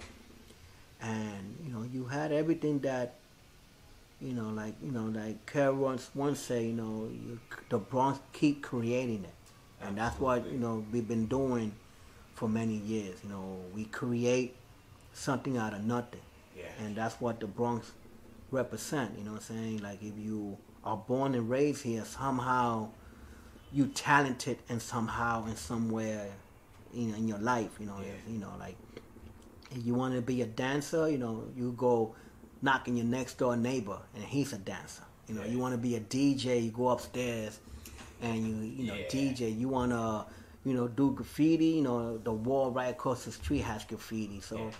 everything that you want is here. You know, if you're hungry, go to the nearest grocery store. Yeah. You know, you want to go shopping, it's right there. You want to take the subway, the buses, everything is so close. You know, like you know, there's nothing that the Bronx has everything. You know, Yeah, like we got yeah. the you got the museums, we have we have the best team in the world. New York Yankees. You know what I'm saying? You can't go wrong with that. You know what I'm saying? I support New York Yankees since the early 77 when they won, you know, back then, you know, and the blackout. We had blackouts. We have, you know, everybody is family. They, you know, we as a, as a Bronx family, we protect each other. Yeah. You know, like if you have your your son and your daughter, you know, the next door neighbor is looking out for your kids. You know what I'm saying? Like, you know, people say that you know got to be careful, but here I feel it's the safest place because, you know, mothers when they see something going on, they out there, you know, like yo, you better be careful with my kids. That's for my yeah, kids. yeah. You know what I'm saying? So we have it all. You know what I'm saying? We have everything. You know what I'm saying? So, you know, from the board president, you know, Ruben Diaz. You know, he really went and he did what he had to do. Uh, you have all these people that come down. You know, like the Bronx is, you know, is where it's at. You know, like, Yeah. you know, hip hop wouldn't start it because of the Bronx. Um, graffiti wouldn't be here because Yeah. it was, you know, for the Bronx. So, you know, we, we, we make even from break dancing to MC, you know, all The hustle salsa. Right, hustle, the salsa, you know, everything is all in the Bronx, you know, like you hear, like when I travel the world and I say I'm from the Bronx, you know, people will stop and ask me like a hundred questions. Yeah, yeah, yeah, yeah. yeah. Okay, this is that's you know, you got the fashion that start that started in the Bronx. You got everything, you know what I'm saying? Like, Yeah. what can I say? You know, I'm glad. Again, I'm here. I'm glad that I ran with my crew, Tats Cru. Um, man, shout out to my wife, my kids, you know, the whole family. You know, the Crash, the Daze, um, the Lady Pinks, the Lee, Mitch 77. One guy that I used to go and see one of his walls that he had by Yankee Stadium on the wall that he had a Mitch 77. That was like my internet Yeah. you know, um, you know, Bambaataa in the early '80s, uh, all the DJs that, that, that was out there, Grandmaster Flash, uh, Grand, you know, Melle Mel, Yeah. Grandmaster Caz, you know, these guys are still current in the game. Yeah. Grand Wizard Theodore, Yeah. you know, these guys are still making, you know, making hip hop, making the Bronx what it is today. Absolutely, absolutely. Well, thank you, thank you so much for sharing everything that you've shared today, and um, I think we'll uh, we'll end Kurt with. Thank you. uh, only thing we, the last thing we ask every artist is to do a tag for us that stays in the museum library. Oh, great! So I have, have a a- marker. I have a marker. It's not a dry marker, right? It's uh, No, no. hold on, take a- I'll show you. It's a dry marker. yeah, yeah, it's a dry marker. That's good. Okay. So for a dry marker, A little. you hit it down like this, and the ink should come down. Oh, all right. That's how you get flood. Yeah, yeah, yeah. Thank you.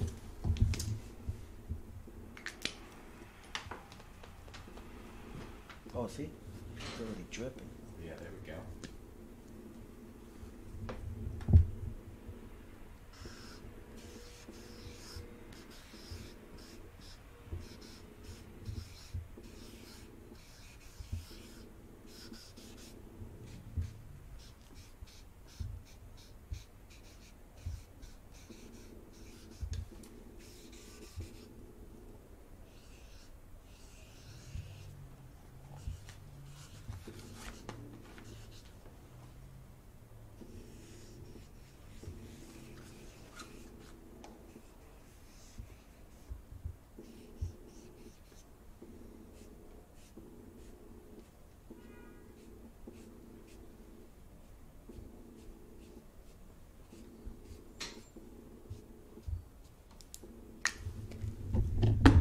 Thank you, BG.